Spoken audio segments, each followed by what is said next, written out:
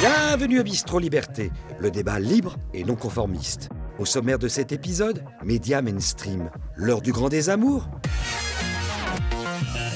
Et en deuxième partie, la jeunesse française est-elle à l'abandon? Pour en parler, l'invité spécial de Martial Bild est ancien ministre et député du Vaucluse, fondateur de la droite populaire.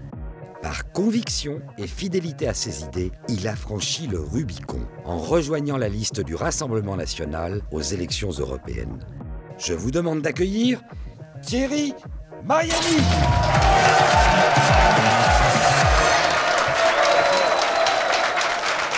Monsieur le ministre. Monsieur le ministre.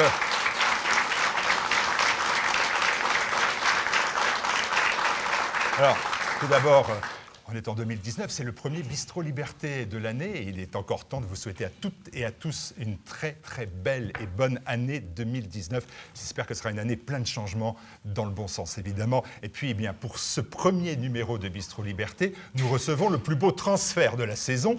Euh, il est ancien député, ancien ministre des Transports. Thierry Mariani, bonsoir. Bonsoir. Merci d'être à nos côtés. Alors quand je dis un transfert, ben, c'est tout simplement euh, vous avez rejoint euh, le Rassemblement national, la liste du Rassemblement national pour les Européens à la mutualité. C'était il y a quelques jours, vous avez indiqué que vous rejoignez la liste RN avec enthousiasme. Je vous, je vous cite, j'ai toujours détesté les contrats à durée déterminée, je préfère les CDI. Mais, mais pour garder un CDI, il faut quand même partager, je pense, la politique de l'entreprise. Or, vous n'êtes pas d'accord avec le programme économique de Marine Le Pen. C'est juste un tout petit élément, le programme économique. Vous n'êtes pas d'accord donc du tout avec la remise en cause de la suppression de, l'ISF. Vous êtes contre l'instauration euh, de la proportionnelle intégrale, c'est-à-dire vous n'êtes pas d'accord avec le projet euh, de constitutionnel euh, du Rassemblement national. J'arrête là. Qu'est-ce que vous avez de commun finalement avec ceux que vous rejoignez? Qu'est-ce que j'ai de commun? J'ai de commun la même conception de l'Europe et la même conception de la France. Voilà. Après, J'y reviendrai tout à l'heure. Il y a effectivement des points sur lesquels je suis en, désaccord sur le programme économique. Mais si vous permettez, ce n'est pas le plus important. Marine Le Pen, d'ailleurs, a rappelé. C'est important l'économie Marine... au Rassemblement national. Non, non, c'est pas ça. Marine Le Pen a rappelé, là je suis totalement en ligne avec elle, que l'économie doit être au service du reste. Et, et en réalité, qu'est-ce qui est important? C'est comment on voit l'avenir de la France, comment on voit les questions euh, qui font que la France euh, est la France, c'est-à-dire sa culture, euh, sa population, la, la, manière de vivre ensemble. Le programme économique, il s'adapte à chaque élection. Normalement, un parti qui a des convictions doit garder la même conception sur le rôle de la France au sein de l'Europe, quelle que soit, j'allais dire, l'année d'élection. Après, un programme économique, vous l'adaptez en fonction euh, euh, de, la conjoncture économique. Est-ce qu'on est en croissance ou décroissance euh, quels, sont, quels sont le climat extérieur à, la France? Est-ce qu'on est en crise ou pas en crise? Donc, voilà pourquoi, sur le premier point, à savoir la politique étrangère et la politique européenne, je suis en total accord avec la politique qui est défendue par le Rassemblement national depuis Fréjus. Parce que si j'ai évolué, d'autres aussi ont évolué. Aujourd'hui, la, ligne du, Rassemblement national est claire. C'est de dire tout simplement on est dans l'Europe, on reste dans l'Europe et on peut faire évoluer l'Europe de l'intérieur, ce qui n'était pas le cas il y a quelques années. Ah, il y a 30 ans, j'entendais les gens du Front National, ils disaient Ah, le RPR, c'est la Samaritaine, on y trouve de tout. Et là, je me suis dit, et, 30 ans plus tard, c'est pas le Rassemblement National qui est devenu la Samaritaine, on va dire les Galeries Lafayette pour vous faire plaisir, euh, ou Lidl, et euh, on y trouve de tout D'abord, je crois que les Républicains sont une plus grande samaritaine que le Rassemblement national. Si, attends, voilà. Non, sérieusement, euh, je pense qu'aujourd'hui, sur les questions européennes, la, ligne est claire. Voilà, la ligne est claire. Et la ligne est claire pour une raison aussi euh, évidente, c'est que d'abord, les choses sont en train de changer en Europe. Voilà. Les choses sont en train de changer en Europe, puisque, on va dire, dans une dizaine de pays, euh, des majorités de patriotes nationales, appelez ça comme vous voulez, sont désormais soit aux affaires, euh, soit dans des positions où elles pèsent de plus en plus lourd. Et on peut espérer que dans ces élections européennes, ce sera un mouvement qui sera suivi. Et on peut en réalité changer les choses pour la première fois au Parlement européen, où depuis des années, qu'est-ce qu'on a? On a le PPE, c'est-à-dire les droites classiques, et euh, le Parti socialiste européen qui euh, se passe les places, partage les postes, etc.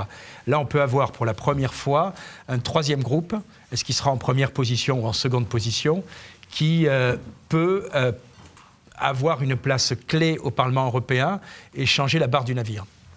Monsieur le ministre, Monsieur Mariani, euh, je vais laisser la parole à chacun des sociétaires. Ils ont préparé leurs questions. Je vais faire seulement euh, l'animateur en, donnant la parole. Alors tout d'abord, je vais commencer par Philippe Randa, parce que là, c'est la page pub de l'émission. Philippe Randa, qui a décidé avec Marie-Simone Poublon de publier le 1er février prochain un livre sur TV Liberté vu de l'intérieur. TV Liberté, euh, le défi. Vous le trouverez bien évidemment en vente sur le site tvliberté.com, notamment à partir du 1er février. Je ne vais pas vous demander ce que vous avez inscrit à l'intérieur. Je l'ai lu et je laisse bien évidemment à chaque téléspectateur le plaisir de le découvrir. Philippe Randa, votre première question au nom du site Euroliberté que vous dirigez. Monsieur Mariani, bonjour. Bonjour. Euh, auprès des électeurs des Bouches-du-Rhône et du Vaucluse, vous avez été longtemps l'adversaire, le, rival du maire d'Orange, Jacques Bompard. Vous avez affronté trois fois, je crois, dans les législatives. Trois fois, vous l'avez emporté. Cinq fois. Cinq, fois. et je l'ai emporté quatre fois. Quatre fois. Donc on est un vieux couple. Ah ben, vous êtes un vieux couple, effectivement. Puis après, vous avez changé de circonscription. Du coup, il a pu être, lui, euh, député euh, dans, dans, cette circonscription. mais euh, maintenant, il, vous, il, semble quand même vous en vouloir beaucoup encore, parce que la Ligue du Sud n'arrête euh, pas de vous tacler, surtout depuis votre euh, au Rassemblement national. Là, j'ai même un, un tract qu'ils ont fait euh, vous, euh, Thierry Mariani, fier d'avoir courtisé l'islam. Vous voyez ce qu'il dit sur vous, ah, c'est terrible. Non, non, c'est pas terrible, c'est très bien que vous en parliez. Ma, question, c'est de savoir, vous, avez un contentieux personnel avec Jacques Bompard ou vous voulez lui conquérir sa mairie peut-être un jour ou, ben, prendre la circonscription, je sais pas Non, non, Jacques Bompard est, est maire d'Orange et je pense que c'est plutôt un bon maire.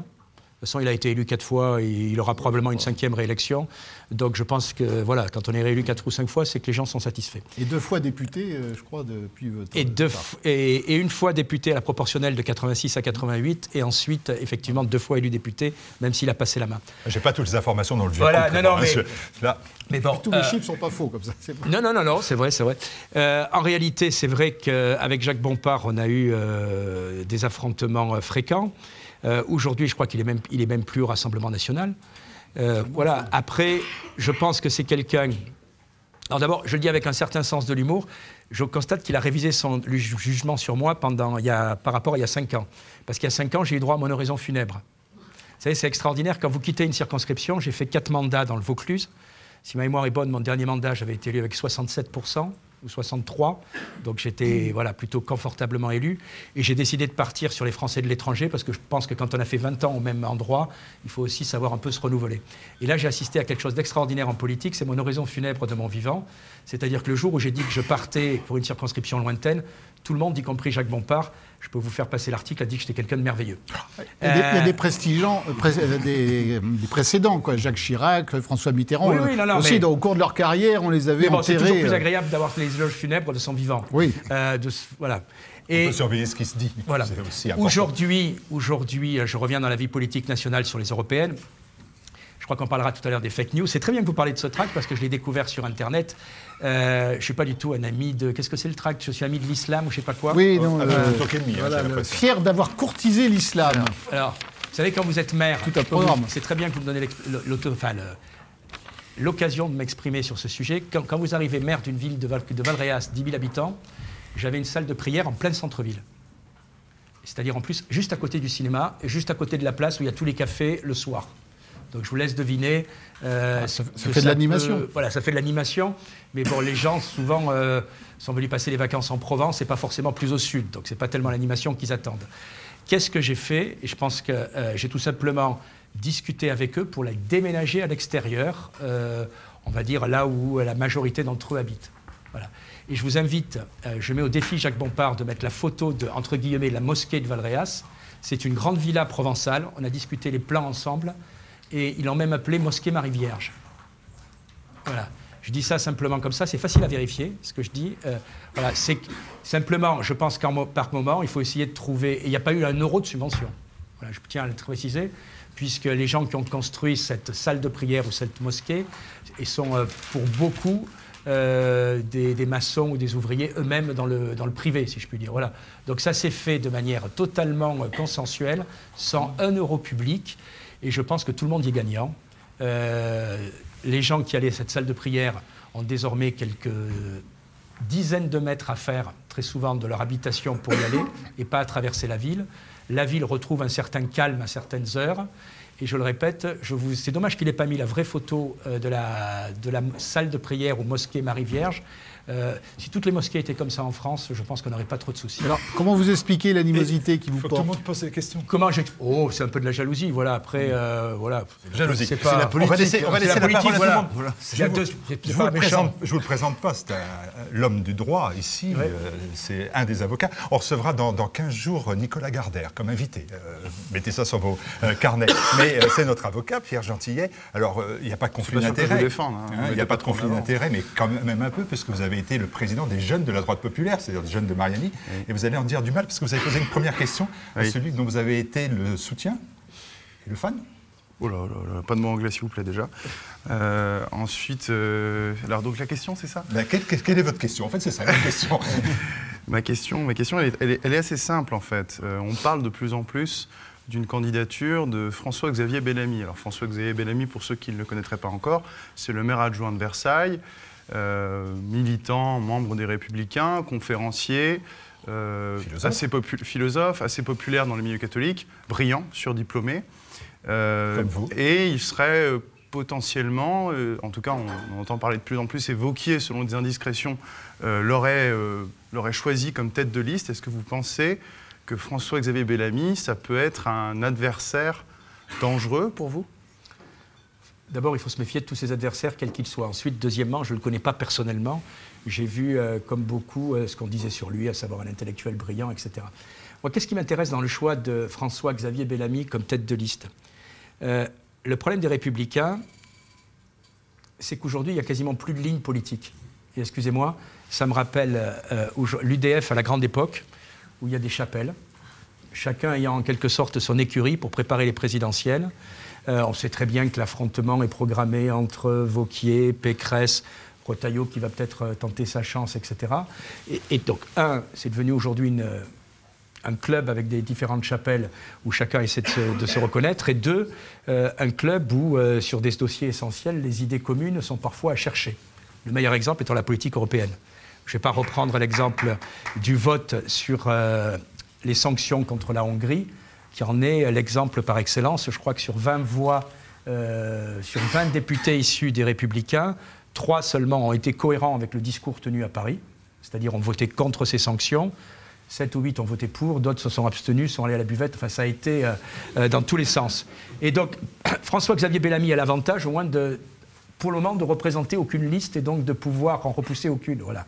Le vrai problème de la liste des européennes pour les républicains, c'est quoi, pour faire simple Est-ce que c'est la ligne Morano euh, qui est quelqu'un qui est cohérent, euh, même si, euh, qui est cohérent, qui, par exemple, sur les sanctions, justement, sur la Hongrie a une position claire, ou est-ce que c'est la ligne de ceux qui, par exemple, le Juvin, mais l'autre Juvin, ou voilà, qui, qui, qui, votent à chaque fois systématiquement dans la ligne du PPE et de ce que, j'allais dire, derrière la CDU allemande. On poursuit les questions, on poursuit les voilà. questions si vous voulez bien. Donc c'est un choix qui évite d'avoir un passé à assumer aussi. Comme vous parliez de l'UDF, ça a réveillé Nicolas Gauthier pour Boulevard Je ne dormais pas. Euh... Non, non, non, tu, tu, vous écoutiez avec attention.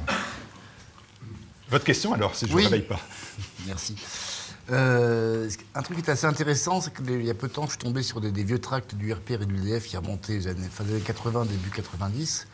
Ça ressemblait au programme euh, de l'actuel Rassemblement national, mais en plus musclé. Comment se fait-il que, effectivement, que le discours de la droite dite de gouvernement a pu évoluer à un tel point? C'est les assises du RPR. Oui.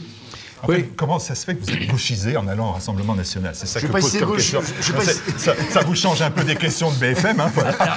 Moins, ça a un mérite Alors, ici. C'est hein. sûr que quand je vois l'évolution de Jacques Toubon, euh, par exemple, je suis devenu un dangereux fasciste. Ah.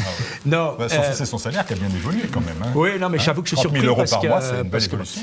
Non, sérieusement. Même Alain Juppé, qui était pour, euh, pour le, mais le, tous, le rétablissement tous, du, du droit mis, du sang. Enfin, je mets en tweet épinglé, c'est-à-dire que si on va sur mon compte, les assises de l'immigration de 1990, oui. RPR, UDF, où on voit quand même, je, dans ce petit reportage de deux minutes, c'est un reportage de la télé, euh, Alain Juppé, François Bayrou, Michel Noir, Roselyne Bachelot, Maluré, et je dois en oublier d'autres. Euh, on voit même euh, un jeune journaliste qui s'appelle Zemmour leur courir après. Euh, avec un programme qui aujourd'hui serait traité d'horribles programmes dangereux. Et le seul qui est honnête dans ce reportage, c'est le centriste, qui est Bernard Stasi, qui dit à la fin du reportage, vous verrez que tout ça, ils l'appliqueront jamais, parce qu'ils ne pourront pas l'appliquer. Euh, et il a raison. Mais Stasi, au moins, il était sympa et drôle. Hein. Oui, mais alors, pourquoi Pour répondre à votre question, pourquoi Pour répondre à votre question, hein qu'est-ce qui s'est passé? Ben, C'est l'une des raisons d'ailleurs pour lesquelles je quitte euh, les Républicains, c'est qu'à chaque fois, on a des discours séduisants pendant les campagnes, mais des alliances paralysantes. Les discours séduisants, c'est ce que fait par exemple Vauquier aujourd'hui sur certains sujets. Euh, je regardais la, publication des, des, dix propositions, notamment sur l'immigration, qui ont été faites. C'est séduisant, à la limite, tout électeur de droite pourrait les, signer. Sauf qu'ensuite, on dit quoi? Vous savez, je dis, il y, a les, figures libres, comme au patinage artistique. Voilà, on fait les propositions dures. Alors, euh, et après, il y a les figures imposées. C'est ah oui, mais pas d'alliance avec le Rassemblement national, euh, pas d'alliance avec les populistes, etc. Ça veut dire quoi? Ça veut dire qu'on est, continué, on est condamné pardon, en cas de nouvelle victoire à la même alliance que d'habitude, c'est-à-dire ceux des centristes qui reviendraient vers, euh, vers les républicains après avoir été déçus par Macron. on aura la même chose. Moi, je l'ai vécu au gouvernement et je l'ai vécu dans la majorité, dans les débats parlementaires les programmes qu'on annonçait qui étaient séduisants, on essayait de les mettre en pratique au Parlement. Mais là, vous aviez Ah oui, non, ça, vous ne pouvez pas parce que M. Douste-Blazy n'est pas d'accord. Ah, euh, ça, vous ne pouvez pas parce que Kouchner va quitter le gouvernement. Mais vous parlez ah, de gens qui ne pèsent rien. Ce Kouchner même, euh, ne s'est fait lire nulle part. Hein. oui, jamais. Euh, je pense effectivement qu'il ne pèse pas grand-chose, sauf que pendant des années, la faiblesse, ça a été de les suivre. Voilà. Moi, je me souviens qu'à un moment, on m'expliquait, il y avait un, problème sur un texte. Euh, on m'a dit, mais si tu fais passer cet amendement, Fadela Amara quitte le gouvernement. Euh, bah, Sarkozy, il a, Sarkozy d'ailleurs a été très bien récompensé puisque juste après il a appelé à voter Hollande d'ailleurs pour la petite histoire. Euh, donc voilà, quel est le drame à mon avis de la droite depuis des années? C'est de ne pas être cohérent entre le programme et les alliances pour appliquer son programme. Mais c'est d'autant plus paradoxal que le, gaullisme se, veut, enfin l'héritier du général, c'est l'homme qui a dit non, c'est contre le renoncement. Et on voit des mecs qui se couchent, mais sans même qu'on est, on n'est même pas obligé de, les obliger à se coucher, ils se couchent tout seuls. Oui, mais c'est fabuleux, quoi. Bah oui, mais euh, vous avez. On est modéré ce soir. Hein, oui, oui. Non, je dis, on est une droite qui est toujours assignée à résidence ou assignée à domicile. C'est-à-dire depuis les années 80, où il y avait le triangle euh, François Mitterrand, Jacques Chirac, Jean-Marie Le Pen. Il a été défini qu'il y avait une sorte de ligne rouge, de mur infranchissable et tout. Sauf qu'aujourd'hui, tout, le monde a changé. Voilà. Et, on reste toujours prisonnier de, cette position. Euh, moi, j'espérais que Vauquier aurait le courage d'en sortir. Voilà. Je rappelle toujours l'histoire que, que, beaucoup de gens oublient. La gauche est majoritaire de 58 à 81 1958 à 1981 dans à peu près toutes les élections locales et perd toutes les élections nationales. Pourquoi un jour elle les gagne? Parce que François Mitterrand a décidé de renverser la table, de faire une alliance avec le Parti communiste de Georges Marchais, alors quand on me dit aujourd'hui il y a les différences de politique économique entre euh, le, Rassemblement national et euh, les Républicains, c'est vrai, mais à l'époque entre le Parti communiste et le Parti socialiste, c'était pas des différences, c'était un monde. Voilà. Sauf que petit à petit ils ont négocié, ils sont arrivés à un programme commun, ça n'a pas été forcément une réussite. Voilà. Et je pense que tant que la droite fera pas ça, et tant que la droite, euh, ce qu'on représente Vauquier aujourd'hui, continue à rester dans les mêmes alliances, continue à être convenable, respectable pour faire plaisir à certains. On continuera peut-être à gagner des élections, mais on continuera surtout à tromper nos électeurs et jamais appliquer ça va programme. On va faire les questions. Non, non, non, non, non, non, non, non, non, non, mais deux questions à poser, fois six. Philippe Panda, parce que j'étais à Dans, l'union de la gauche, il y avait aussi un pharmacien qui pour les dosages, hein, Fabre, oui. voilà. Oui, Fabre, il était pas... Oh, il était gentil, puis gentil. il a bien réussi. Oui, mais on peut faire une alliance à trois. Voilà, je, euh, Nicolas Dupont-Aignan n'est pas pharmacien d'origine, mais euh, voilà, il, fait, il a des qualités aussi. Monsieur si on faisait un peu de politique fiction, par exemple, on pourrait déjà annoncer aux prochaines élections européennes, des fois que la liste des républicains, justement, euh, fasse un très mauvais score, ce qui, selon les sondages, n'est pas totalement inenvisageable. Euh, ça remettrait quand même en cause, sans doute, l'avenir de Laurent Wauquiez à la tête de la formation, non? Et puis peut-être aussi euh, tout le parti, parce que déjà, avec toutes les défections, la vôtre, mais il n'y a pas que la vôtre, il y en a beaucoup qui sont partis. la, principale défection, je pense que c'est les militants, les simples militants qui, sont, qui partent en masse. Chez les élus, soyons honnêtes, il n'y a pas beaucoup de défections parce que euh, on est à avec, un très mauvais score, justement. Ils vont peut-être avoir peur pour leur siège. Oui, mais on est à un an des municipales. À mon avis, quel est le calcul de Laurent Wauquiez? On peut euh, ne pas être d'accord avec Laurent Wauquiez, mais ce n'est pas un imbécile. Je pense que Laurent Wauquiez se dit, comme beaucoup, comme beaucoup d'autres, les européennes ont toujours été un succès sans lendemain pour le vainqueur. Et donc, quelques mois après les européennes, il y aura les municipales. D'abord là, je pense qu'il se trompe, parce que pour la première fois, ce succès ne peut pas être un succès français, mais peut être un succès au niveau de toute l'Europe. Et deuxièmement, les municipales, euh, on sait très bien que, quelle que soit la qualité des militants du Rassemblement national que je découvre, euh, l'implantation locale ne vaut pas celle de, vieux partis euh, comme les Républicains. Sauf que. On a dit ça pour les législatives, il y a quand même plein. C'est pas, la même chose. C'est pas la même chose. pas la même chose je crois que les municipalités, en, au municipal, on vote quand même pour son maire, et les gens peuvent voter pour un maire de gauche s'il a été bon, même s'ils sont à droite. Voilà. Bompard est élu quatre fois, il n'y a, a, pas 60% de absolument, à Orange. Absolument, voilà. Il est de gauche. Voilà. Euh, non, non. Euh, non, je pense qu'au municipal, puis après tout le monde l'oublie avant les présidentielles, il y a encore deux autres étapes, les départementales et les régionales. Euh, il y aura un vrai problème d'alliance. comment, par exemple, les républicains vont garder certaines régions avant les présidentielles euh, s'il n'y a pas soit un désistement d'En Marche, soit des listes communes. Et tout le problème stratégique, ce sera euh, qu'arrivé au présidentiel, enfin d'ici les présidentielles, on aura des alliances quand même un moment coupable où, les où notre électorat habituel, de, vous voyez, je dis notre électorat, il faut que dix jours, l'électorat des républicains euh, réalisera bien que ben, les républicains ne peuvent pas incarner l'opposition quand ils euh, partagent les postes ou collaborent avec des listes d'en marche sur des élections euh, locales. D'où l'implosion Stéphanie, non, non, non, non, d'où Stéphanie Bignon, qui n'a pas posé de questions. Elle aurait dû être la première à poser des questions. Écoutez, elle est même la seule femme parmi vous. Stéphanie, père et famille. Euh, une question peut-être un petit peu plus rude. Oui, absolument. Un petit peu plus rude, exactement, monsieur le ministre. Je Voilà, quand on dit monsieur le ministre, c'est que ça va mal se passer. Oui, se moque de moi. C'est une information comme ça. Donc, on est d'accord que la France, les Français s'expriment euh, en 2005 et disent non massivement à la Constitution européenne. Absolument. Euh, néanmoins, M. Sarkozy passe outre et en 2007 euh, décide de faire passer de force le traité de Lisbonne. Vous avez ratifié ce traité et euh, je dirais que quelques temps plus tard, c'est-à-dire, euh, je crois, il y a quelques temps, vous me direz si je me trompe, c'est assez récent, vous avez justifié cette position, c'est-à-dire cette ratification du traité de Lisbonne, qui pour moi est un, est un coup d'État, est, est, un hold-up hein, de la démocratie, euh, vous avez dit que vous aviez fait ça contrainte et forcée en quelque sorte, pas dit euh, contraint par l'engagement présidentiel. Voilà, ça, soyons clairs, j'ai fait campagne contre Maastricht, euh, j'étais dans l'équipe avec Charles Pasqua, Philippe Seguin ou Guénaud, etc. J'ai fait campagne contre Amsterdam mhm. et effectivement j'ai voté le traité de Lisbonne. Mhm. C'est important, euh, Mariani, parce que oui, oui, Nicolas Dupont-Aignan va vous dire que lui, il a voté contre. Oui, c'est exact. Euh, c'est exact. Mais attendez, j'assume. Et d'ailleurs, ça a été l'une des questions, l'un des sujets que j'ai abordé quand je, quand je suis allé euh, rejoindre la liste du Rassemblement national. Mhm. Quand vous présentez à des électeurs, et, et, ça, me, ça me permet de vous répondre à une question, pourquoi je n'ai pas fait ce changement de formation plus tôt? Je pense que quand on se présente à une élection, les électeurs nous donnent un mandat si on est élu.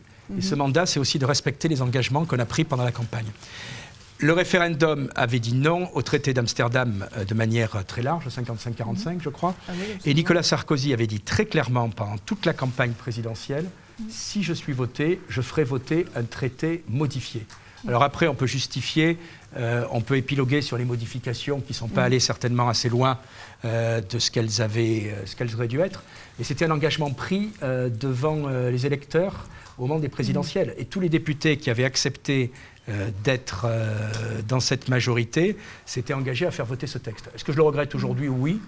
Mais, mais c'était logique, voilà. Et ça me permet de répondre aussi à une question que vous ne m'avez pas posée. Pourquoi je n'ai pas fait ce mouvement vers le Rassemblement national? Pourquoi vous ne l'avez pas fait? Alors que... Alors que c'était sous-jacent, ça veut dire. Oui, oui. On se rattrape comme on peut. Non, non, non. Alors que... Euh, j'étais, par exemple, Dieu sait que certains au gouvernement me l'ont reproché, le premier, mini, le premier membre du gouvernement mm. a donné une interview au journal Minute euh, ah alors que j'étais en poste, ce qui à l'époque a été une révolution. Et je me souviens de certains élus du côté de Bordeaux aujourd'hui qui étaient en transe et qui étaient au gouvernement.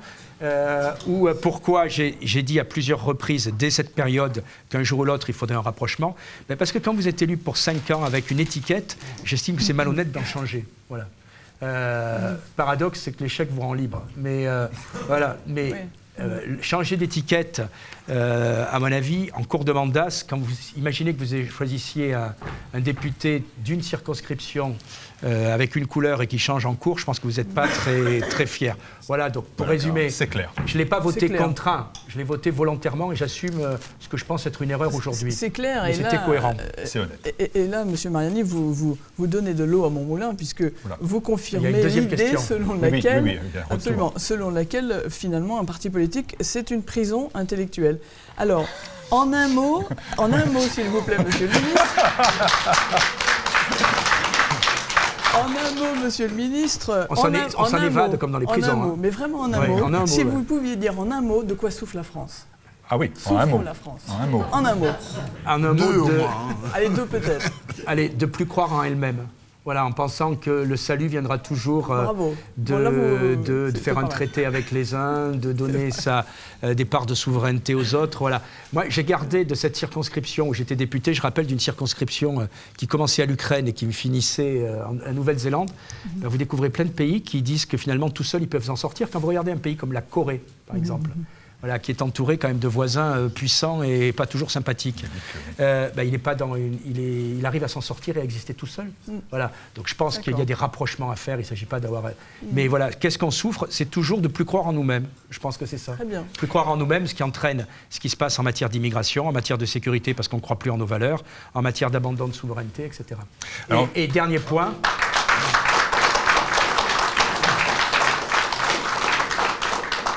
Je ne cherche pas à me réfugier. Les partis politiques ne sont pas forcément une prison. Je pense que c'est un mal nécessaire. Voilà, mais je pense aussi qu'il y a des moments où, euh, sur les élections, on doit prendre des engagements et essayer de les tenir. Voilà. Je reconnais que euh, dans tous mes votes à l'Assemblée nationale, j'en regrette quelques autres, mais qui sont moins importants. Mmh. Euh, c'est peut-être celui que je regrette le plus, mais, mais je pense qu'on avait aussi pris l'engagement au moment des élections. C'est clair. Dans le registre de la politique internationale, nous allons faire un tour en trois minutes euh, des questions avec Nicolas Gauthier et je redonnerai la parole à Pierre Gentillet qui me l'a demandé si gentiment. Alors, dans le registre de, l'atlantisme à, vraiment à, front de bœuf, votre collègue Pierre Lelouch a vraiment été un champion pendant des, quasiment des décennies. Or, Zouk, en 2016, c'était à l'époque où les, BNP Paribas et Alstom, entreprises françaises, sont euh, racketées à coups de milliards de dollars par les Américains. Ils pondent un rapport extraordinaire qui est vraiment une, une véritable révolution euh, copernicienne. Euh, Sur l'extraterritorialité du droit américain. Je l'ai encore relu il y a trois jours, il est dans ma tablette. Ça a dû vous enchanter, ça. Mais il le relit tous les jours depuis, non, non, 2016. que, ça serait venu, je sais pas, d'un Michel Jobert, Marie-France Garot, c'était compréhensible. Mais Pierre Lelouch, alors Lelouch, que je connais bien, puisqu'on était ensemble à la Commission des Affaires étrangères, a, évolué euh, dans son parcours. Et sur la fin, je crois qu'il s'en rendait quand même un peu compte. Euh, on, se gargarise d'avoir mis 30, euh, je crois c'est 50 millions d'amendes à Google. Voilà. par rapport aux, amendes que nous mettent les Américains sur certaines de nos sociétés qui se chiffrent en milliards. Non, c'est l'un des vrais problèmes de la France aujourd'hui, c'est que, enfin pas que de la France d'ailleurs, du monde, c'est l'extraterritorialité du droit américain et qu'on n'ose plus se défendre. Je prends un exemple très concret. Carlos Ghosn, est-ce qu'il est coupable, etc. J'en sais rien. Euh, il gagne un salaire exorbitant et peut-être qu'il a fraudé le fisc, etc. Je ne défends pas le bonhomme. Mais jamais les Américains n'auraient laissé euh, un de leurs chefs d'entreprise, mm. patron d'une des plus grosses boîtes américaines, euh, en prison au Japon. Ils auraient immédiatement tapé du poing ou fait ce qu'il fallait. Ils l'ont déjà remplacé en plus. Oui, oui. Mais... le mec a dit, il, se, retrouve prisonnier et chômeur en, un mois. les Chinois, on en parle peu en France. L'une des dirigeantes de Huawei a été arrêtée au Canada et doit être expulsée aux États-Unis pour être jugée qu'ont fait les Chinois, comme par hasard, c'est un pur hasard, deux Canadiens arrêtés, un condamné à mort. Voilà, puis après on discute. Voilà. Non mais, euh, je dis pas que c'est la... Dans les relations internationales, il n'y a pas de gentil. Et je pense que euh, les Américains sont nos alliés historiques, mais sont des concurrents redoutables sur, euh, sur le domaine économique. Et ce qui s'est passé avec Alstom est un vrai scandale d'État, où le président de la République, à mon avis, est Ce sera intéressant de voir ce qui va, ce qui va se passer. J'ai noté d'ailleurs que euh, Olivier Marlex, député des Républicains mmh. courageux, a, porté, euh, a demandé à ce que la justice soit saisie. Euh, on va voir ce qui se passe. Mais c'est un renoncement permanent à défendre nos intérêts. Il y a un livre qu'il faut lire aussi, c'est La France à la découpe. où on liste toutes les entreprises françaises qui, ces 15 dernières années, sont passées sous capitaux étrangers. Et c'est assez affolant. On est quand même loin des, fameux noyaux durs de Balladur en 86. Oui, oui. Mais, mais sur, sur, euh, sur Alstom, euh, on peut saluer le rôle de quelqu'un comme Montebourg, oui. que j'approuve pas, mais qui sur ce dossier-là a été remarquable. Et euh, l'attitude de voir le conflit d'intérêts du ministre des Finances, qui est devenu président, à savoir Macron, est quand même hallucinante et il porte une très lourde responsabilité. Dernière question, dernière question. Non, non, non, non, non, pas juste, non, non. Montebourg est quand même plus convaincant comme patriote que Laurent Wauquiez. Hein. Oui, je ne suis plus euh, là pour défendre Laurent Wauquiez. Euh, appelez Laurence Saillet, elle fait ça sur tous les plateaux, très bien. Pierre Gentillet. Non, non, non, mais je vous en prie. Non, non, mais allez-y. Ce sera amusant. Mais bon, je vais quand même poser la question euh, que j'avais en tête, qui est aussi une question de politique internationale. Vous êtes rendu à plusieurs reprises en Syrie, je crois même avoir été quelques fois dans vos bagages, et vous avez rencontré le président syrien et vous y êtes vous y êtes également rendu, je crois, en décembre dernier. Et la situation par rapport à votre tout premier voyage, qui je crois était en 2015, si je ne dis pas de bêtises, a radicalement changé en Syrie. Ma question est simple, est-ce que vous pensez qu'on en a fini du terrorisme en Syrie? Non, on n'a pas fini du terrorisme en Syrie, mais on n'a toujours pas fini non plus, j'allais dire, de la bêtise de la politique étrangère française dans cette région. Le drame. Euh, oui, et non. Oui et non. Si vous me dites que le terrorisme n'est pas, terminé en Syrie, on peut comprendre que Le Drian laisse des troupes françaises pour combattre le terrorisme, c'est ce qu'il dit. D'abord, on ne laisse, pas, laisse pas des troupes sur un État étranger sans son accord. Deuxièmement, euh, l'armée euh, syrienne pour le moment, a fait un travail plutôt efficace parce que, certes, on a des soldats français, personne ne connaît exactement leur nombre, je suis persuadé. 1500 c'est pas clair, pas, ah, pas, uniquement en Syrie, attention, c'est Syrie-Iran. Enfin bon, quel que soit leur nombre, je salue leur mission et euh, je pense qu'ils ont fait du bon travail. Mais enfin, l'essentiel du travail, quand même, a été fait, entre guillemets, par l'armée syrienne qui a perdu plus de 150 000 bonhommes, l'oublions pas. Euh, en Syrie, le problème, il n'est pas là. Le problème, il est que. Euh, tous nos pseudo-révolutionnaires de salon ont vu à un moment, dans certaines émeutes, leur rêve 68 arts se réaliser, qu'on s'est mis à armer, à soutenir une révolution qui en réalité euh, était une révolution islamique et euh, qui se retourne contre nous par le terrorisme. Et aujourd'hui, on ne sait plus comment reprendre les choses en main. Quand j'y étais en décembre, si vous le permettez, 24 euh, heures avant, le président soudanais était venu. Alors le président soudanais, on sait très bien, je vous rappelle que le Soudan est avec l'Arabie saoudite dans la guerre au Yémen, on sait très bien que sur le sol, ce sont des supplétifs sans méchanceté de l'armée euh, d'Arabie saoudite. Donc il venait en clair porter un message de l'Arabie saoudite. Le message qui disait quoi? Aujourd'hui tout le monde le sait, c'est bon, vous avez gagné la guerre, on est ennemi, on essaie de trouver un motus vivendi et on ne s'opposera pas à votre retour dans la Ligue arabe. Et normalement, vous verrez que la Syrie va retourner dans la Ligue arabe au mois de mars, ce qui est pour eux vraiment euh, l'instance la plus importante régionale. Euh, vous avez vu que des, pays comme l'Arabie Saoudite, pardon, comme les Émirats Arabes Unis sont en train, ont déjà décidé de réouvrir leur ambassade. Et à un moment, le ministre des Affaires étrangères, Eman Soussan, avec qui j'étais, m'a fait passer dans le cortège devant l'ambassade d'Italie ou de l'ambassade d'Espagne, en me montrant les deux ambassades qui étaient en train d'être repeintes et en travaux, en me disant eux, je pense qu'ils sont plus intelligents que vous, ils vont réouvrir plus vite. Euh, résultat, aujourd'hui. Euh, le seul pays qui était, le pays qui était le plus proche de la Syrie Syrie qui peut être un partenaire euh, indispensable et efficace pour combattre le terrorisme parce qu'ils ont un certain nombre d'informations, on continue à être quasiment les seuls à le bouder. Voilà. Euh, les autres, on sait très bien, ont repris les discussions. Je vous rappelle quand même qu'il y a deux pays de l'Union européenne, contrairement à ce que disent tous les journalistes euh, bien pensants, qui avaient gardé des ambassades, la Tchéquie et la Roumanie. Voilà et qui en réalité servent de passerelle. D'autres vont réouvrir, je le dis prochainement, et nous, on continue à dire que le personnage n'est pas fréquentable. Voilà, euh, le problème, vous connaissez la phrase de De Gaulle, en politique étrangère, on n'a pas, pas des, amis, on a des intérêts. Voilà. Je pense que l'intérêt de la France et l'intérêt de notre lutte contre le terrorisme, que ça nous plaise ou non, c'est que Assad garde le pouvoir et gagne la guerre. Et puis une dernière phrase, vous ne restez pas six ans, vous gagnez pas une guerre civile au bout de six ans euh, si tout le peuple est contre vous. Voilà, vous avez toujours un moment quelqu'un dans le dos qui vous mettra un coup fatal. Euh, or, je n'ai jamais dit qu'Assad est populaire là-bas. Je suis persuadé qu'il y a des crimes de guerre des deux côtés. Dans une guerre civile qui dure six ans, il y a souvent des choses pas très propres qui sont propres, ça n'existe pas. Hein, Absolument. voilà. Euh, sauf que l'intérêt de la France, aujourd'hui, ben, c'est qu'il ait gagné la guerre. Et donc, au lieu de faire en sorte, au lieu de prolonger inutilement les souffrances du peuple syrien en armant encore des groupuscules, etc., euh, on ferait mieux de reconnaître ce qui se passe. Dernier point, je pense que les Kurdes, qui ont beaucoup de, qui ont beaucoup de sympathie dans l'opinion publique, risquent de découvrir à la fin de toute cette histoire que les Américains choisiront toujours la Turquie contre eux et que finalement, s'ils veulent ne pas se faire massacrer, leur seule, comme ça s'est passé à Afrin, leur seule solution, c'est de retourner, entre guillemets, en Syrie. Ce qu'ils ont commencé à faire, d'ailleurs. Qu'ils ont commencé à faire. On leur propose une certaine autonomie et... Euh, ils ont, été, ils, ont, ils ont été des combattants admirables à Kobané, à, dans, des, dans des batailles comme Raqqa ou Mossoul. Simplement aujourd'hui, ils vont voir que la réelle politique américaine, comme d'habitude, s'est servie d'eux et va les abandonner. Les Kurdes d'Irak ont déjà été, ont déjà été lâchés par les c'est l'homme qui pose 25 questions. On ne peut plus, on ne peut plus. Le monsieur vous dit que vous avez dépassé votre temps de parole. On va regarder ensemble les dessins. Question piège. S'il fallait franciser votre nom, vous seriez Thierry Marion ou Thierry Marine euh, Je vous laisse pas. Je vous laisse. Allez, allez, allez, Joker, Joker, Joker. On va pas commencer comme ça.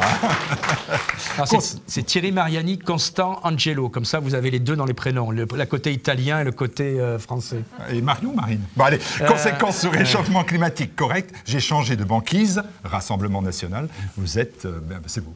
D'accord. On vous reconnaît peut-être pas totalement tout de suite, mais j'ai découvert en même temps vous. Thierry Mariani muscle sa droite et j'ai le tatouage qui va avec celui du Rassemblement national. Ça vous va toujours? Martial Bild, l'animateur de Bistro Liberté, à sa devise Nous enivrer de liberté. Il veut à tout prix que je sois un poivreau, ce n'est pas le cas, mais ils vont finir par tous le croire. Philippe Randa d'Euroliberté se protège de l'européisme glacial en revêtant le gilet jaune. Voilà, ça c'est pour vous. Stéphanie Bignon de Terre et Famille ne mange pas de conviction, ne manque pas de conviction. Au gilet, il faut un jaune, comme à la France, il faut un roi. Voilà, ça c'est euh, le message subliminal. Et encore, on enregistre l'émission après le 21 janvier pour qu'elle soit là. Nicolas Gauthier de Boulevard Voltaire, le plus bitnique des Gilets jaunes. Je suis Gilet jaune comme John Lennon. merci, on va se retrouver pour le premier sujet. Je veux quand même saluer dans le public dorénavant mon ancienne co présentatrice. Allez, je vais lui faire la bise. Caroline Parmentier, elle est toujours avec nous, bien sûr, mais maintenant elle est dans le public. Bonsoir Caroline. Bonsoir, tu me manques. Alors, bon boulot, bonne chance. Je crois maintenant je crois maintenant savoir qu'on euh, a rejoint euh, la prison. Alors, les partis politiques pour y travailler dans la communication, c'est ça? Eh ben, Vous travaillerez avec M. Mariani. Euh, nationale, elle aussi hein? J'ai l'impression qu'elle travaille assez facilement avec Thierry Mariani. Oui, elle nous le dira plus facilement, mais il n'y a pas de micro. Hein. Tu veux venir nous le dire? Non? Allez, viens, viens. J'ai de parler dans le micro là. Hein. En deux mots, mais dans le micro. Oui, mais je, suis devenue l'attaché de presse donc, de Jordan Bardella, de Thierry Mariani et de tous les colistiers de la liste pour le Rassemblement national aux européennes. Voilà, voilà. Alors, comme Caroline n'est plus journaliste, voilà. Alors, bien évidemment, plus parmi les sociétaires. Quand il y a un engagement politique de terrain, bien évidemment, on ne peut plus être sociétaire. On a quitté le journalisme pour la politique. Bonne chance, bon courage aussi. Allez, on regarde tout de suite ensemble le premier sujet.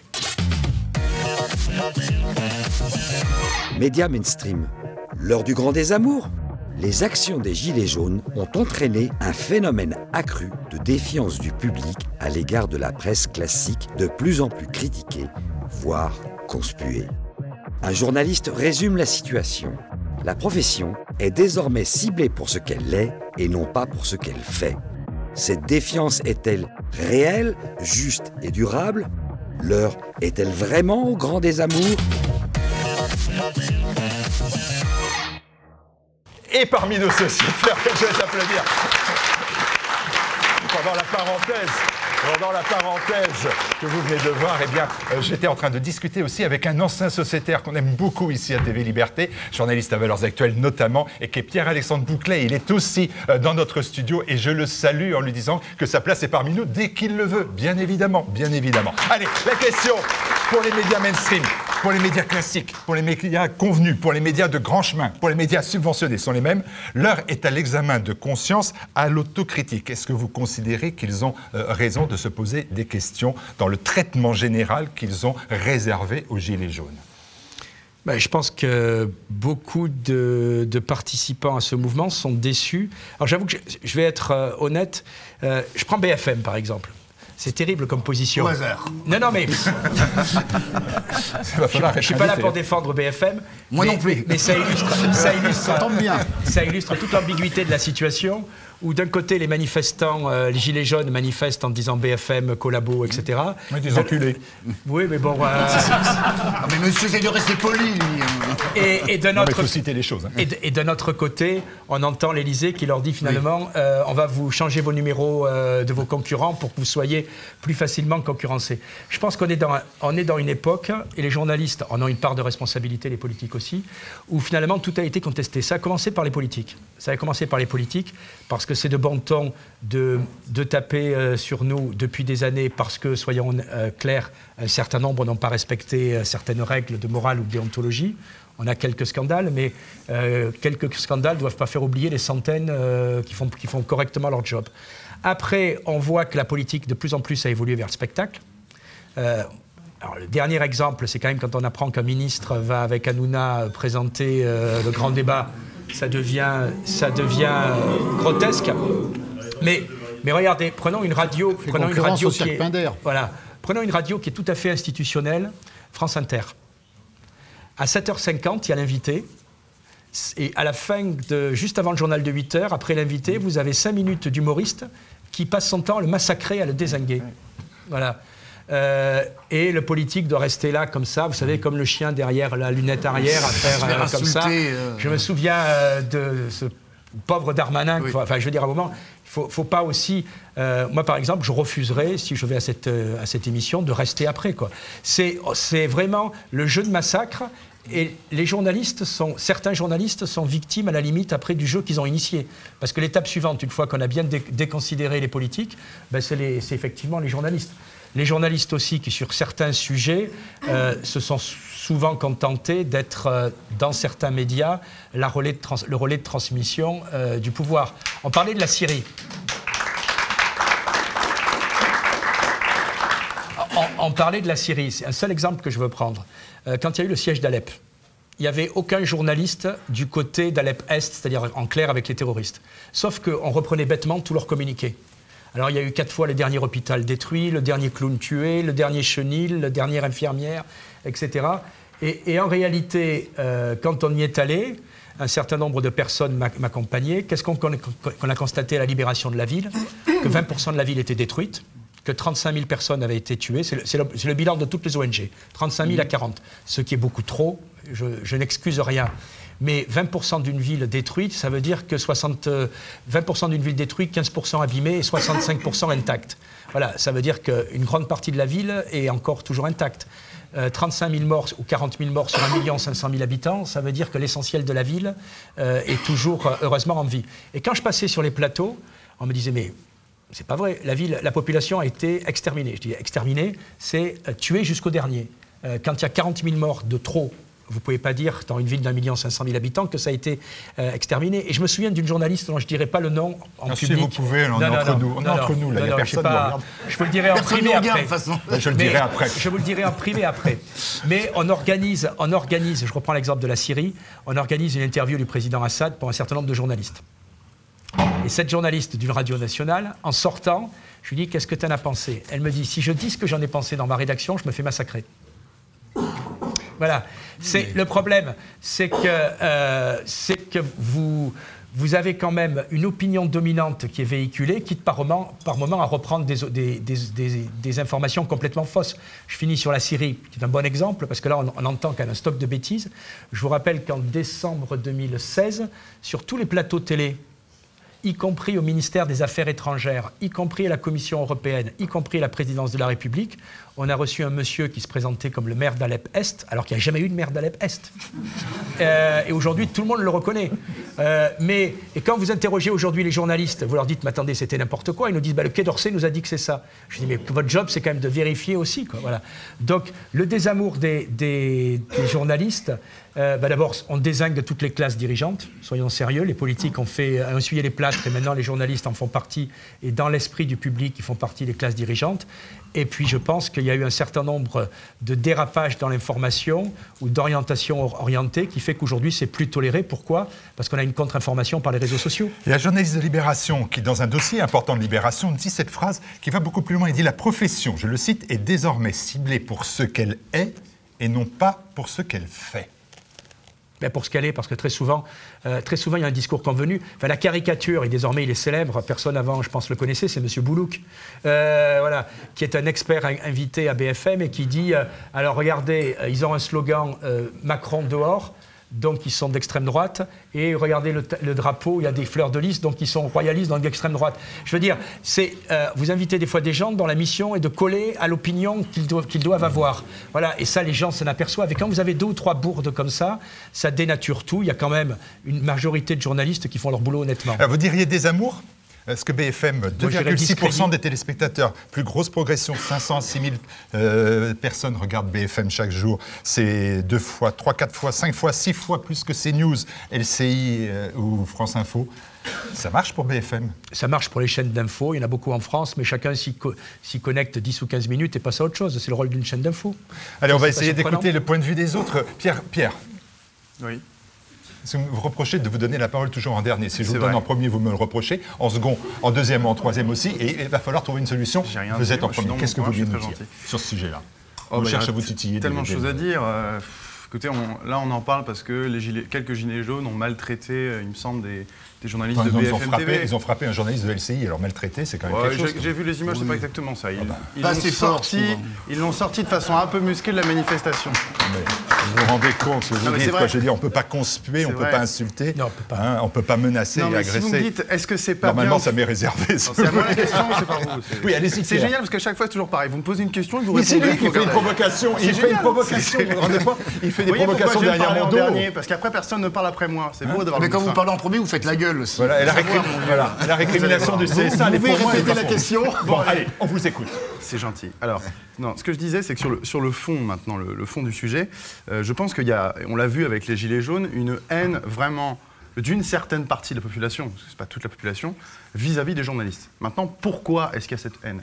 Quelles sont les raisons profondes de tout ça? Moi, je pense qu'il y a il y a une raison, un espèce d'inconscient au fond dans la haine des gilets jaunes vis-à-vis de la presse. C'est que la presse, on dit aujourd'hui c'est le quatrième pouvoir. C'est un quatrième pouvoir qui est très protégé. Pourquoi? Parce qu'à l'origine, ce n'est pas un pouvoir, la presse. C'est un contre-pouvoir. Hmm. Or, aujourd'hui, ce qui se passe, c'est que le contre-pouvoir, par consanguinité avec les élites, parce qu'ils sont dans les mêmes hmm. écoles, parce qu'accessoirement, il faut quand même savoir avoir en tête, c'est que l'écrasante majorité des rédactions sont à Paris, hmm. donc vivent à Paris. Je vous rappelle le score de Macron à Paris. Le nombre de politiques qui épousent les journalistes. Hein. il est jaloux. Il est jaloux. Il y a cet entre-soi qui fait que, voilà, évidemment, il y a à peu près la même soupe idéologique qui va sortir. Et encore une fois, du coup, ce contre-pouvoir est devenu un pouvoir, mais ce pouvoir est surprotégé. La liberté d'expression de la presse permet énormément de choses. Euh, je ne parle pas de tous les avantages fiscaux qu'ils ont, notamment le fameux abattement fiscal euh, de l'impôt sur le revenu, duquel vous profitez sans doute, d'ailleurs, parce que vous êtes journaliste, peu importe. Euh, je suis un vrai journaliste, je n'ai pas de carte de non, mais continuez à manger votre fric. je ne veux pas la partager avec Cyril Hanouna, c'est un principe. Hein. Non, non, mais je vous taquinais.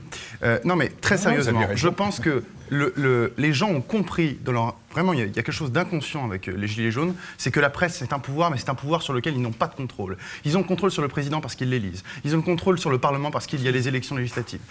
Ils se disent que, bon, les juges, c'est un peu à part, parce que les juges, c'est un pouvoir et c'est en même temps un contre-pouvoir vis-à-vis des deux premiers. Mais alors, la presse, les gens, les gens, comprennent que c'est un pouvoir, mais ils n'ont pas de contrôle sur lui. Et c'est particulièrement frustrant. Simplement parce que la presse ne vise plus ses lecteurs. D'avoir de ne pas avoir de pouvoir sur un des, sur un des pouvoirs et qui n'est pas du tout représentatif de la majorité des gens. C'est-à-dire que la majorité des gens ne pensent pas comme euh, ce, que, ce que BFM TV a pu raconter. Et par ailleurs, j'en termine, et je termine vraiment, il y, a, vraiment des actes de malhonnêteté. C'est-à-dire que, non, je termine. Je vais m'énerver. Non mais vous, je sais qu'il faut, faut conclure, mon vieux là. Non mais oui, mais vous aussi, donc euh, moi d'abord. Il a, euh, pas commencé. Non mais je vais être. Du coup, euh, non, mais du coup, ce que je disais, c'est que c'est aussi une malhonnêteté de la part des journalistes. Bon, j'arrête mais non, mais vas-y, allez, allez, vas-y, vas-y, vas-y. Non, non, non, tu sois pas. Alors, allez, termine. vraiment termine, termine, termine, termine, termine. Non, je parle plus, c'est insupportable. Terminez, allez-y, allez-y. Non, ce que je vous dis, c'est qu'il y a vraiment aussi de la malhonnêteté. C'est-à-dire que quand vous regardez, par exemple, sur France 3, vous savez, la pancarte, la Macron d'émission, ils ont effacé d'émissions. Et après, ils se sont excusés en disant, c'est une erreur. Dans n'importe quel pays, j'allais dire du bloc de l'Est, mon Dieu, euh, à l'Est, en Russie, on aurait regardé. C'est la preuve que les médias sont sous contrôle. Aujourd'hui aussi, c'est une erreur. Et avec Internet, les gens le voient, ça. Donc forcément, les gens sont en rébellion. Et c'est pour ça que les médias sont libres. Est-ce que vous partagez le point de vue d'un journaliste de Médiacité qui dit les journalistes écrivent librement ce qu'ils sont socialement programmés à écrire? C'est du charabia, ça ne m'intéresse pas. D'accord. Non, mais je, enfin, oui. C'est un peu ce que vous, vous, étiez en train de dire de, manière un petit peu différente, c'est-à-dire qu'ils sont socialement programmés. Vous avez relevé bah, qu'ils étaient euh, parisiens, qu'ils étaient déconnectés. C'est ce que je dis, c'est-à-dire qu'en fait, ouais, sauf que c'est voilà, dit de façon. Bref. Euh, ils sont dans le même milieu, ils sont dans la même école, et j'ai même envie de dire, comme maintenant il y a eu ce formatage, eh bien, euh, cette profession a une image, et cette image va attirer je veux dire, des gens pour devenir Hôtel Krief. Vous voyez, par exemple, il y a une reproduction qui se fait aussi par l'image. Ouais, J'aurais voulu être Hôtel Et, je crois aussi que dans la... je, crois aussi que dans les réactions des Gilets jaunes contre la presse, il y a une sorte de, revanche, parce que c'est vrai qu'on leur a tellement vendu Macron en disant c'est Macron ou le chaos, qu'ils en veulent finalement de cette fée. Bah. on dirait, dans le midi, on dirait couillonné. Et euh, c'est sûr qu'aujourd'hui, la presse a participé quand même à cette campagne d'intoxication. Je suis quand même étonné que vous parlez de la presse euh, avec les gilets jaunes, mais vous ne rappelez absolument pas les premières euh, images et les premiers comptes rendus de la presse sur les gilets jaunes les pecnos, les pecnos, les ploucs qui, qui allaient euh, mal habillés avec leur, euh, leur gilet jaune. Euh, ces gens qui étaient peu diplômés, peu, peu cultivés, qui, qui en fait se plaignaient d'avoir une augmentation du, de quelques centimes du litre d'essence. Moi j'ai entendu des, des, journalistes dire enfin, qu'est-ce que, qu'est-ce que quelques centimes d'essence par mois Des gens généralement qui étaient à Paris, qui, qui, n'avaient pas de voiture, avec Anne Hidalgo qui veut donner gratuit la, la carte Navigo à tout le monde. Voilà, et, c'est ce mépris que les journalistes, que toute cette presse a eu sur les Gilets jaunes, bah, ça ne m'étonne pas qu'ensuite les Gilets jaunes euh, aient quelques ressentiments. Non, ça vous, vous effleure pas, ça? C'est quand même la chose la plus importante. Pas parti, si hein, veulent casser la, Je pas voté le Krief, alors j'ai dit j'aurais voulu être aux journalistes, c'est un peu ça, non? Et il faut rappeler une chose. Moi, je me rappelle que les journalistes n'ont pas toujours été euh, eu la part belle, mais c'était où moi je me rappelle des, au Front National, les rassemblements qu'il y avait au, au fait des Bleus Blancs Rouges. On n'aimait pas les journalistes là-bas. Ça, je peux, en témoigner. Parce que euh, je me rappelle, une société avait fait des, petits badges avec le nom des, journaux, euh, euh, des journaux des, généralement d'une presse assez proche du Front National, présent, n'est-ce pas, Caroline? National Hebdo et autres. Et je me rappelle des journalistes, de, c'était des journalistes de présent, un ami que j'avais là-bas, et qui, qui, qui s'était entendu dire Ah, c'est bien que vous mettiez le badge présent. On sait que vous vous êtes pas des. Comme vous disiez le mot tout à l'heure, c'était des. enfin, des gens qui avaient. c'était une insulte. Oui. Voilà. on dit C'est bien, c'est bien, il faut il faut le mettre que vous êtes présent, National Hebdo et tout, parce que, euh, voilà, euh, avant, il y avait que le Front National, c'est pour ça. Mais il y a aussi une chose qui a changé, c'est qu'aujourd'hui, il y a Jean-Luc Mélenchon, qu'on l'aime ou qu'on l'aime pas, qui est monté au créneau contre les médias. Et qu'est-ce qu'il dit sur les médias? Ce que jamais la droite dite extrême n'a dit sur les journalistes. Euh, qu'il faisait campagne et tout. D'accord, Philippe mais, Voilà, mais le problème, c'est que tout ça, aujourd'hui, fait que les journalistes sont, sont mal vus. Et pourquoi ils sont mal vus?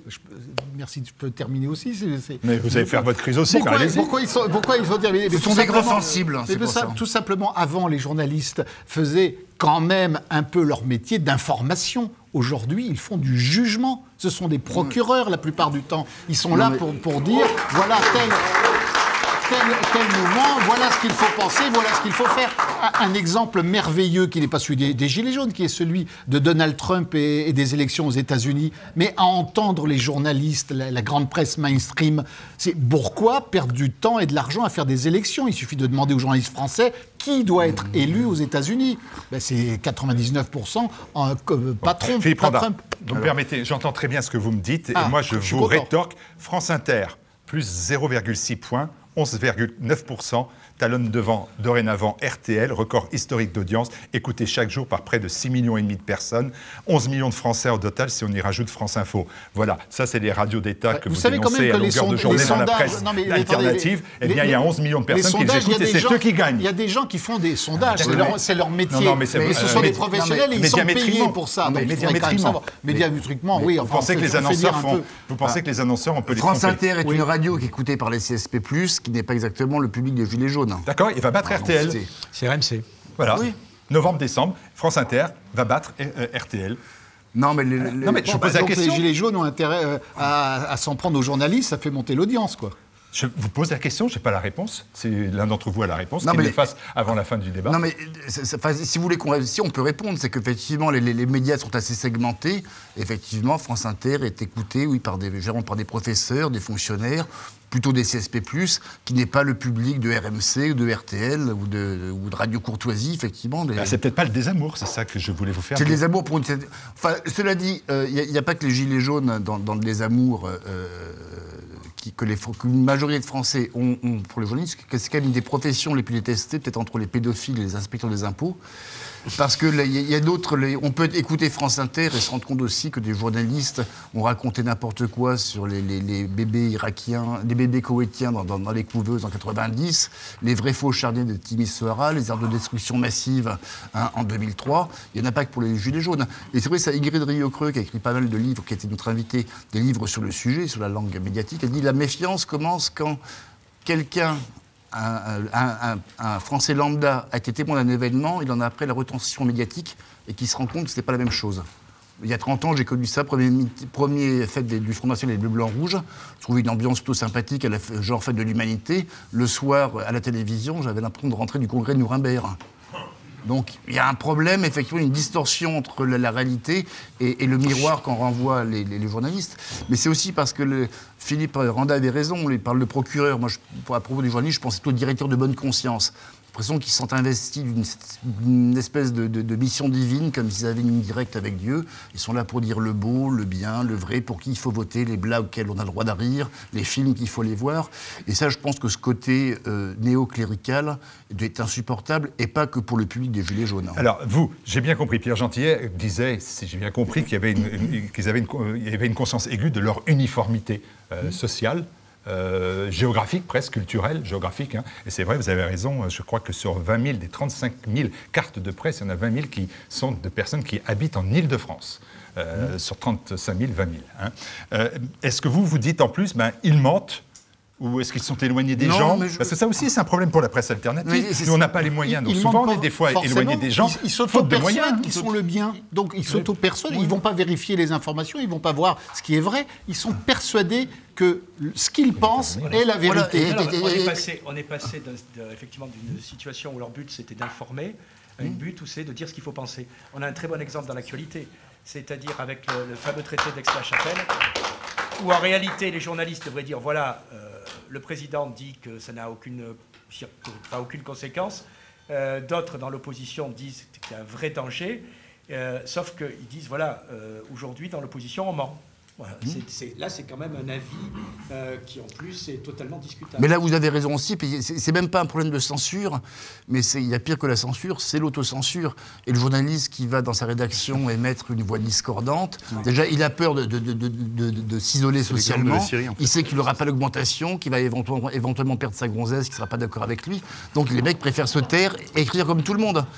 C'est tellement plus confortable. J'ai été marqué par la phrase, je le répète, cette journaliste qui m'a dit si je dis ce que j'ai vu euh, euh, dans ma rédaction, euh, voilà, je me fais exploser. Ingrid Rio-Creux disait dans son dernier livre, il y a, effectivement, il y a une ligne, elle s'est rendue compte, un journal qui, s'appelle 20 minutes, pourtant c'est un gratuit assez, euh, la plus, plus, plus robinet dont on ne fait pas, mais la solution politique est de ne pas faire le jeu du Front National.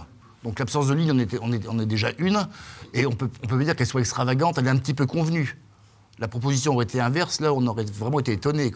20 minutes, c'est pas neutre. Hein. 20 minutes, c'est pas neutre. C'est pas parce que c'est gratuit c'est neutre. L'objectivité n'existe pas en presse. En revanche, on peut être honnête. Mais on n'est jamais objectif, on parle toujours de quelque part avec des opinions, un vécu, quelque Absence de diversité, déconnexion. Tout à l'heure, vous disiez, Martial, que oui, certaines, certains médias sont encore écoutés. Est-ce qu'il y a un désamour? Est-ce que je crois que ce qui se passe avec les Gilets jaunes, qui montre un réel désamour, c'est que les Gilets jaunes, c'est le pays réel. C'est le pays réel qui s'exprime. Qui et ce pays réel, forcément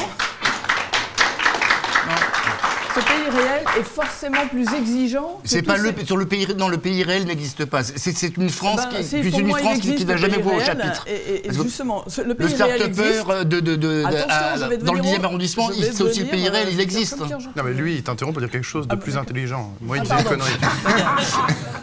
Donc non, pour moi, ah vraiment, les Gilets jaunes, c'est le pays réel, et que parce que c'est le pays réel, il y a une exigence, une exigence de vérité qu'on ne retrouve pas euh, dans certains publics plus conformistes, plus confortablement installés, plus attachés à leur confort. Il y a une exigence de vérité euh, et que on a, essayé, euh, de, on a essayé de garder la pression dans la cocotte minute en faisant sortir un petit peu de vapeur de temps en temps pour que ça pète pas. Mais si on se souvient bien, on se, on se moque de nous.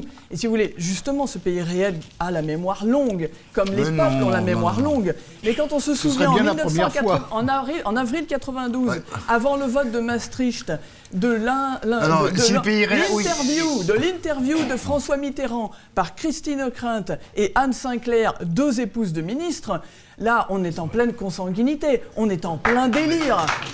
Donc c'est pas nouveau, c'est pas nouveau. Et qu'est-ce qui se passe? Et là moi je plains, je plains tous les gens qui ne comprennent pas ce qui se passe avec les gilets jaunes. C'est la cocotte minute dont on ne trouve plus la, soupape, la soupape, la pression ne sort plus assez vite.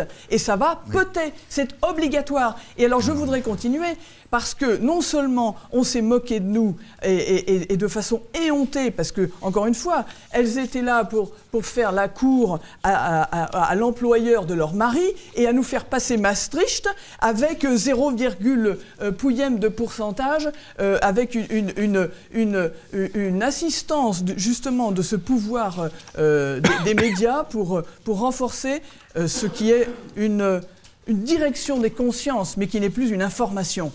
Et, puis ne pas oublier quand même que les grands groupes de presse sont tenus par les grands groupes financiers. Et tout à l'heure, vous disiez, et donc on assiste bien à une dictature, et là je rejoins complètement la position des Gilets jaunes, et tout à l'heure vous parliez, monsieur le ministre, euh, euh, d'opinion dominante, de cette opinion dominante qui était finalement euh, une espèce de, carcan. Mais le problème, c'est que c'est là qu'il y a un problème. C'est que l'opinion dominante et la propagande dominante ne sont plus en phase. Et c'est là que ça va péter. Parce que la propagande dominante veut être, être soi-disant l'opinion dominante, mais elle ne l'est plus.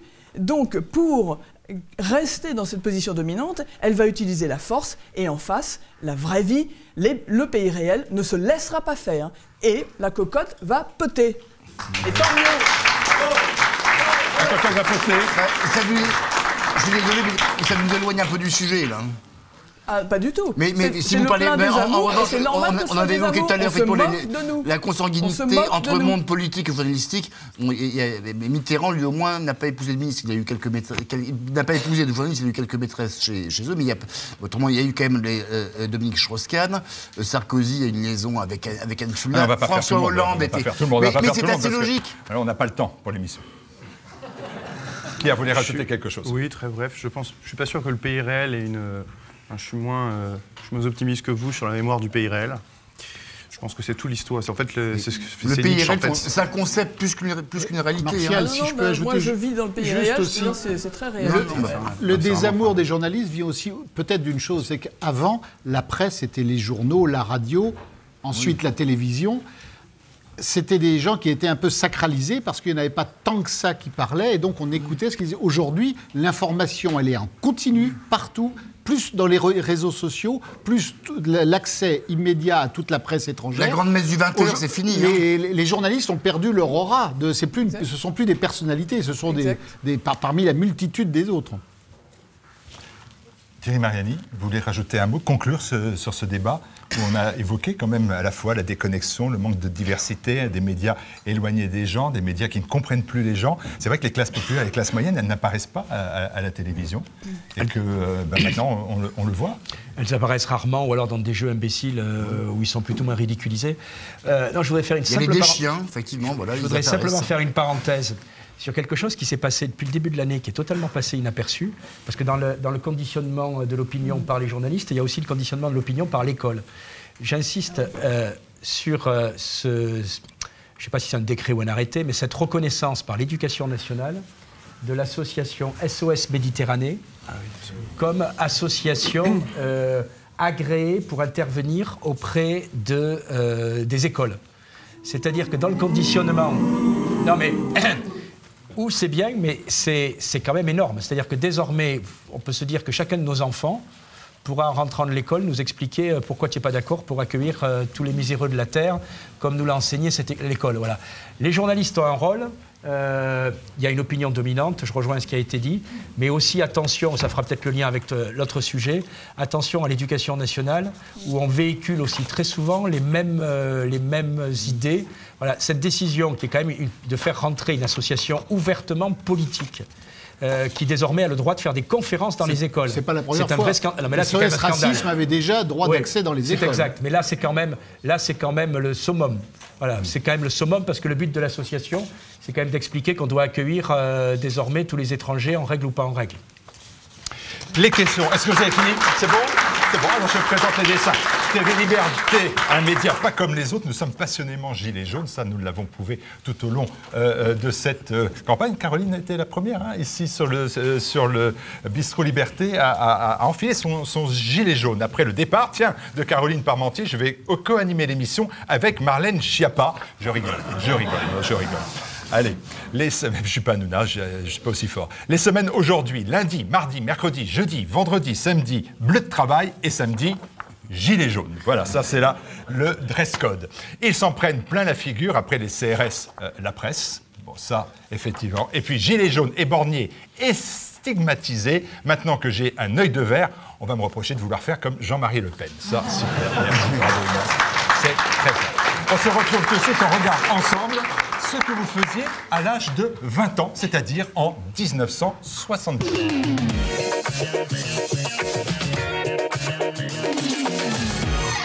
En 1978, quand vous aviez 20 ans, Thierry Mariani, la France connaît déjà une vague d'attentats.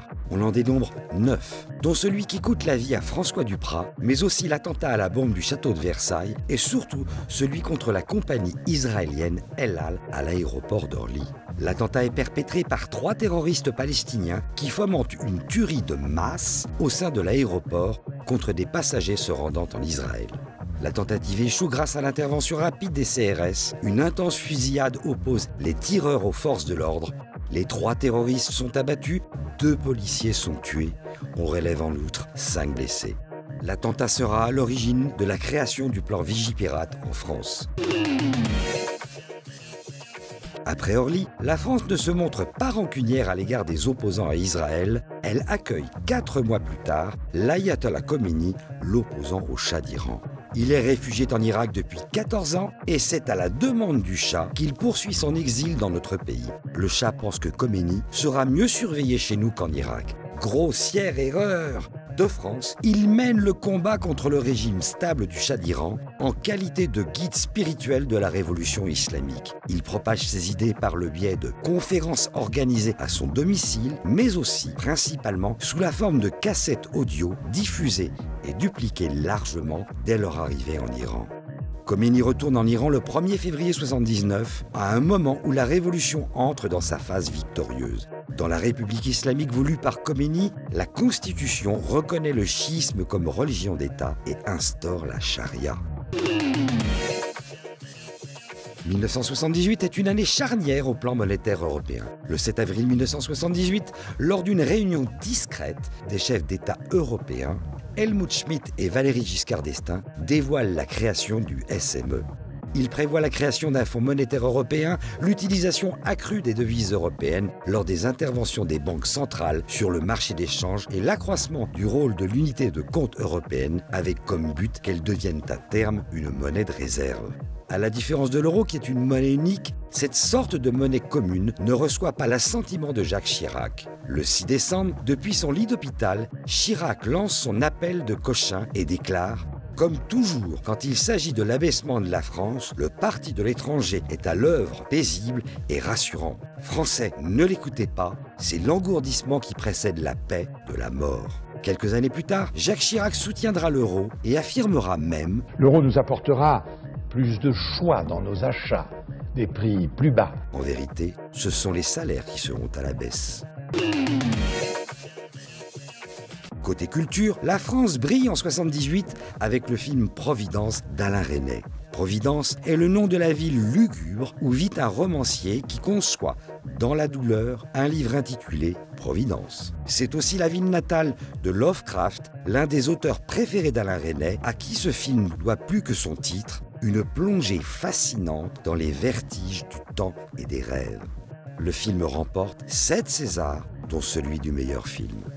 Avec Jean Rochefort, la finesse française est de nouveau récompensée en 78 grâce au film Le Crabe Tambour. Jean Rochefort se voit décerner le César du meilleur acteur. Le film est réalisé par Pierre Schendorfer, à qui l'on doit aussi l'honneur d'un capitaine et la 317e section. Le crabe tambour est inspiré par des épisodes de la vie du lieutenant de vaisseau Pierre Guillaume. Atteint d'un cancer du poumon, cet officier de la Marine nationale française se voit confier un ultime commandement, après l'avoir expressément réclamé, celui de l'escorte d'escadre Joré Guibéry, dont c'est également la dernière mission avant son désarmement. Dans un registre beaucoup plus léger, on ne peut échapper à la fièvre du samedi soir avec John Travolta. L'acteur est au tout début de sa carrière et l'on est bien loin des interprétations intéressantes qu'il fera 20 ans plus tard.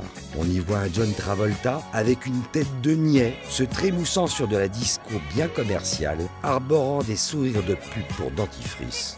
La musique de la fièvre du samedi soir, que l'on doit aux Bee Gees, va être un succès planétaire. Le film fait plus de 4 millions d'entrées en France. Rétrospectivement, ce n'est pas un bon film, mais juste le témoignage d'une période où régnait encore une forme d'insouciance.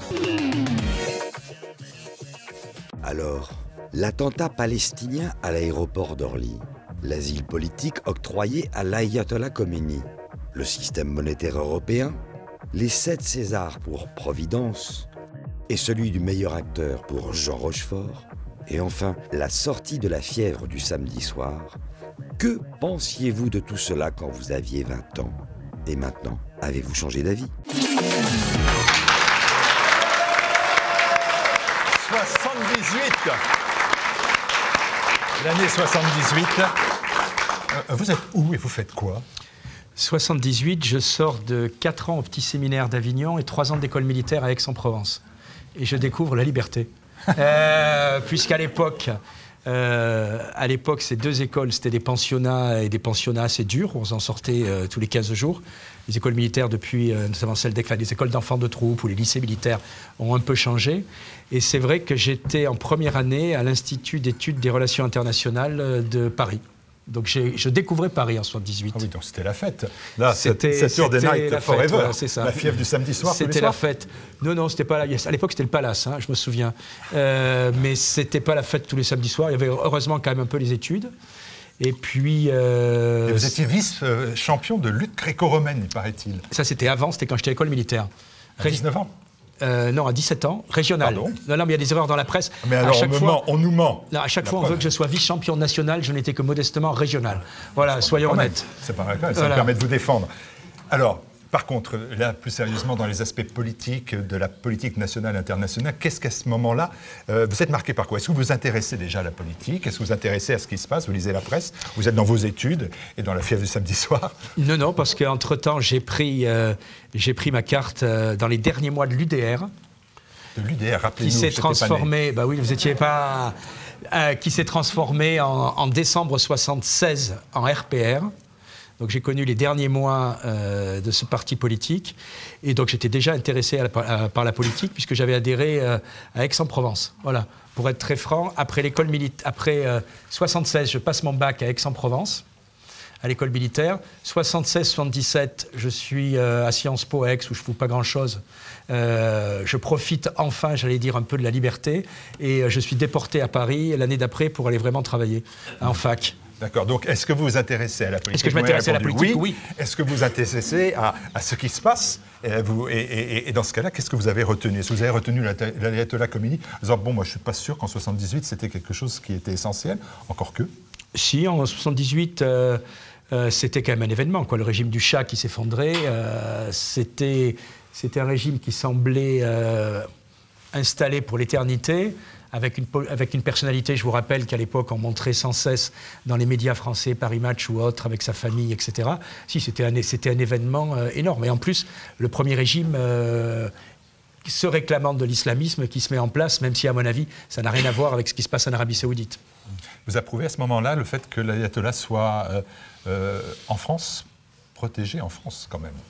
Parce qu'il a toute l'attitude pour faire de la politique quasiment. Hein. Il reçoit, il donne l'incantation. Son petit livre Tordant euh, va faire euh, un succès de librairie. tout le vert, je crois, de Oui. Euh, le problème de la France, c'est qu'on accueille les vrais réfugiés politiques, oui, mais après que les vrais réfugiés politiques se servent de la France comme tremplin, euh, là, on peut que le condamner parce qu'en réalité, on met la France dans une situation difficile. Je voudrais vous citer une anecdote marrante d'il y a 15 jours.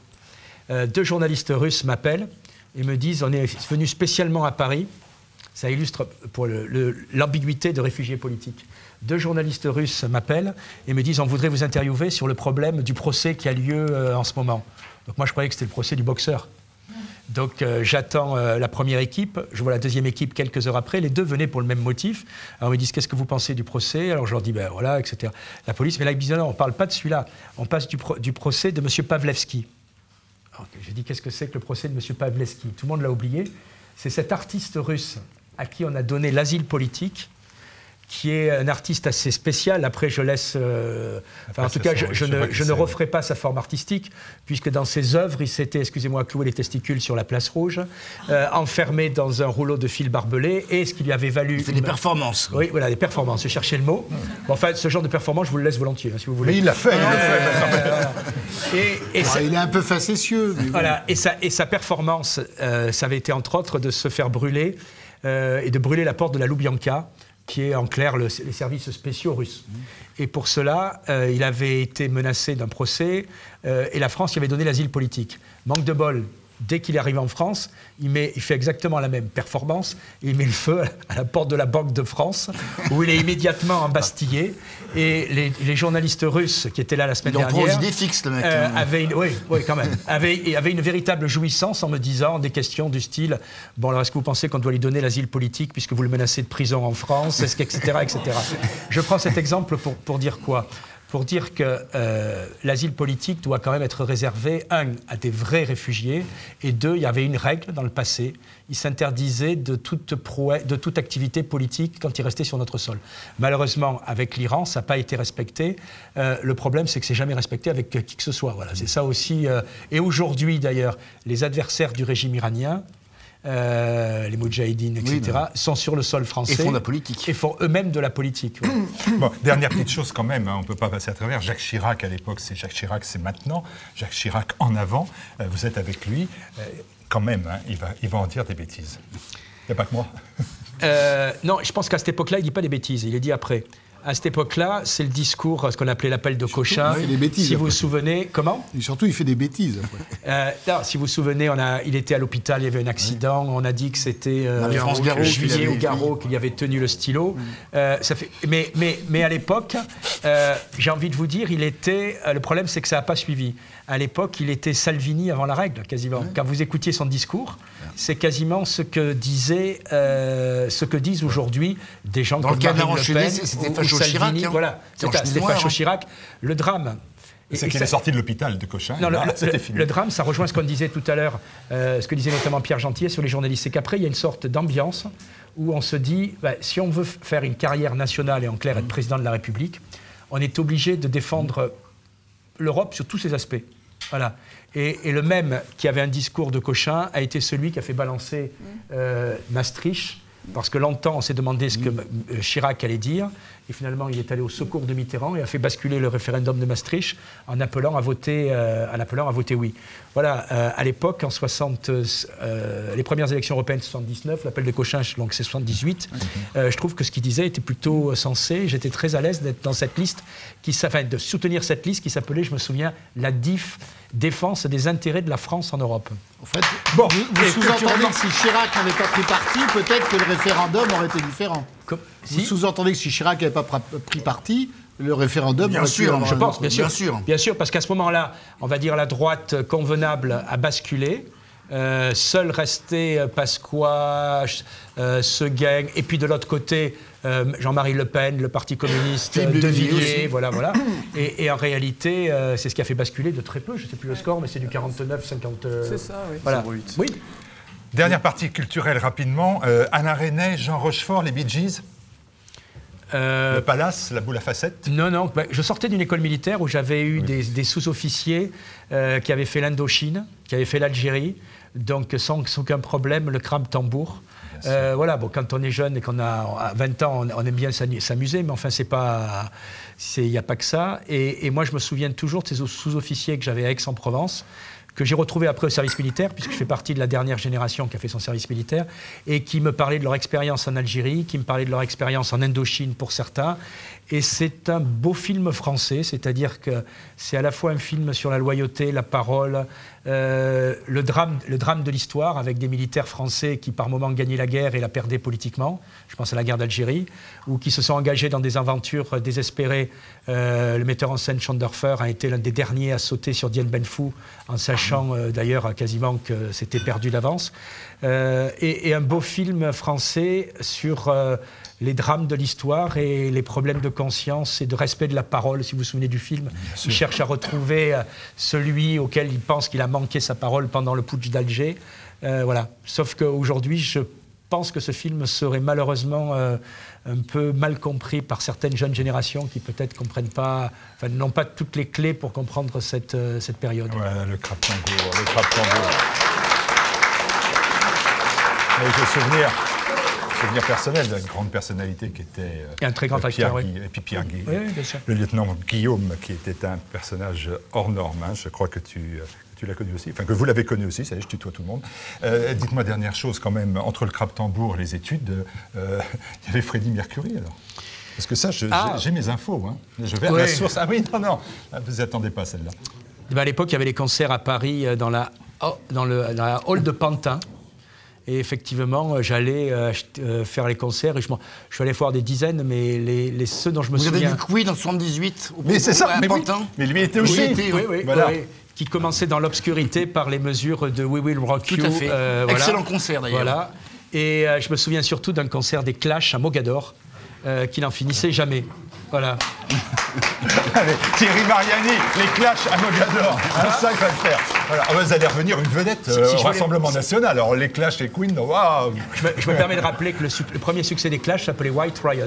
Oui. Bon, bah voilà. Tout le monde l'a oublié. Et oh, non, non, non, non, là vous avez un spécialiste. Vous avez un spécialiste. Bah, écoutez, on se retrouve tout de suite pour la deuxième partie euh, de notre euh, émission de Bistro Liberté avec notre invité. Il est bien évidemment ancien ministre. Il sera sur la tête de. il ne sera pas tête de liste. il sera sur la liste du Rassemblement National. Jordan Bardella, 23 ans, sera la tête de liste du Rassemblement National. Et il est encore avec nous. Restez avec nous. Allez sur la page don, bien évidemment, euh, du site de tvliberté.com et on se retrouve dans quelques instants. A tout de suite.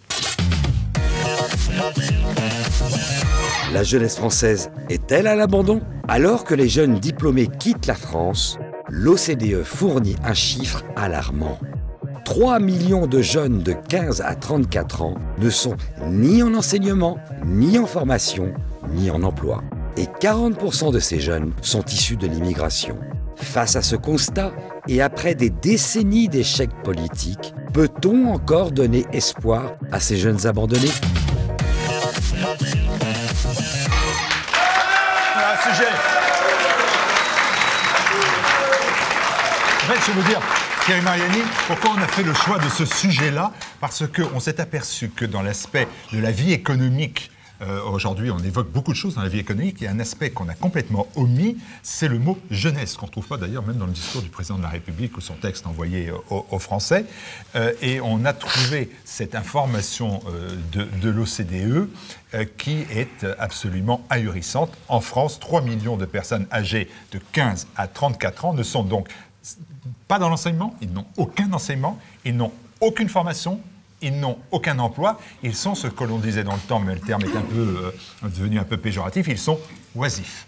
Euh, mais quel échec extraordinaire de la classe politique, quel échec de vous aussi, vous avez été ministre, après tout, euh, c'est aussi votre échec. Même si vous étiez ministre des Transports, et je ne vais pas vous dire, vous aviez une responsabilité directe dans, sur l'éducation et la jeunesse. Quel échec global du système, où en réalité, c'est vrai qu'on n'offre pas d'alternative à une partie de, de, la population française et étrangère euh, qui en réalité n'a pas de débouché. Alors qu'est-ce qu'on peut faire euh, de concret? Euh, Vous savez, depuis 30 ans, on tient le même discours sur l'apprentissage. Tout le monde est d'accord sur l'apprentissage, c'est-à-dire qu'on fait éternellement la comparaison entre l'Allemagne, où l'apprentissage est une formation, on va dire, noble, et où en France, à tort, quand euh, si vos gosses vont euh, dans une formation euh, technique, c'est considéré comme un échec. Voilà. Là, il y a un vrai travail de réhabilitation d'image morale à faire.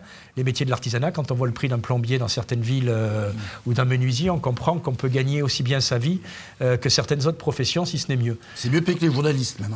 Hein. oui, c'est plus, plus, considéré. Je pense qu'on voit arriver le plombier avec plus de sourire que le journaliste aujourd'hui. Mais, mais sérieusement, on a euh, ce problème-là. Et puis deuxièmement, je pense une revalorisation des bas salaires dans certains métiers, euh, parce que la différence entre l'assistanat et les salaires les plus bas est trop faible. Et euh, on est dans ce cercle vicieux où une partie de la population ne veut pas bosser. Moi, j'ai été maire de Valréas, 10 000 habitants. 10 000 habitants, j'ai été maire 18 ans. C'est très bien parce que, franchement, quand vous êtes maire après 10 ans, vous savez tout ce qui se passe.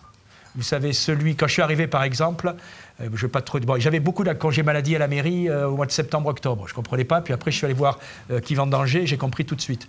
voilà. Et, donc, en réalité, vous voyez très bien dans les petites villes que très souvent les personnes sont au chômage, font du petit boulot noir à gauche, à droite, etc. et en réalité ne veulent pas travailler parce que les salaires sont trop bas. et il y a, je pense aujourd'hui, un vrai mouvement à avoir sur, un, la réhabilitation de l'apprentissage, deux, une revalorisation de, certains, de certaines activités ou de certains métiers, et, trois, c'est aussi lié, à mon avis, c'est arrêter une immigration qui permet sans cesse d'avoir une nouvelle population qui accepte euh, des, des, boulots sans intérêt très mal payés, euh, pour juste après pouvoir avoir un titre de séjour. Et là, on rentre dans le, dans le vice ou dans la spirale de l'assistanat. Voilà. Est-ce que c'est pas là aussi, on touche pas à un point qu'on n'évoque jamais.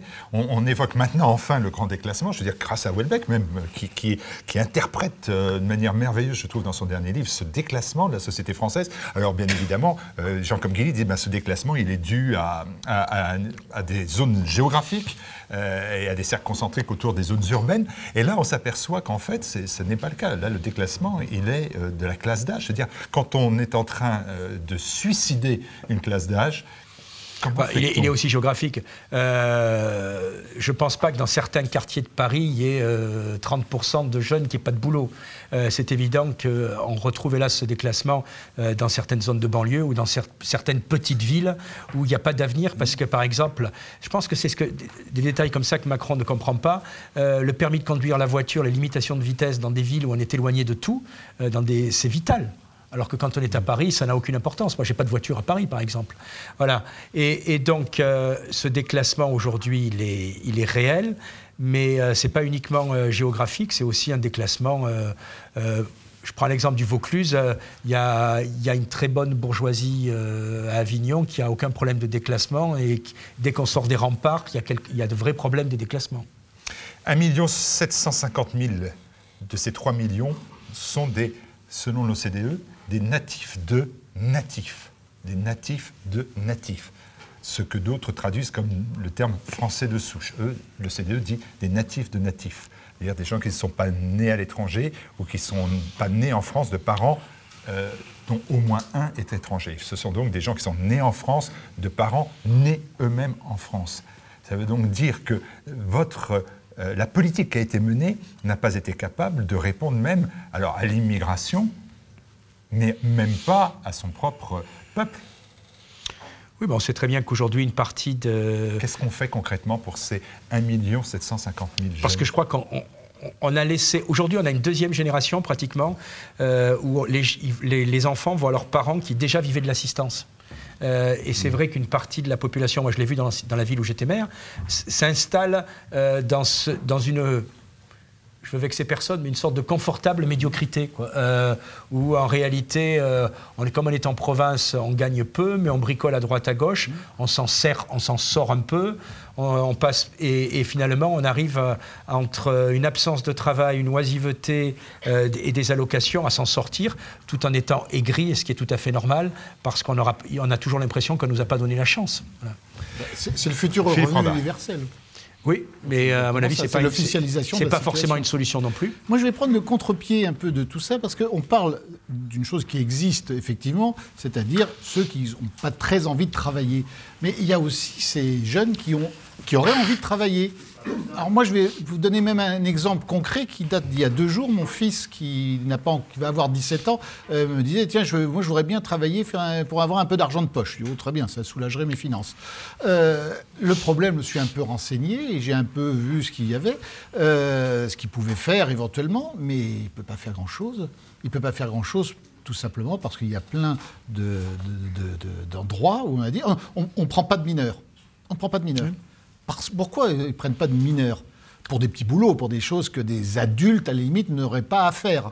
Mais tout simplement parce qu'ils ont la trouille, la trouille des lois, les trouilles des emmerdements, le trou, énormément de, petits patrons m'ont expliqué ça. D'ailleurs, j'avais cherché même pour lui un apprentissage avant, alors là, j'avais eu vraiment l'explication. On dit, mais attendez, euh, vous savez, les lois, les mineurs, il ne faut pas faire attention de ne pas les faire travailler plus que ça. Il faut qu'ils aient telles conditions. Il faut que le minimum financier.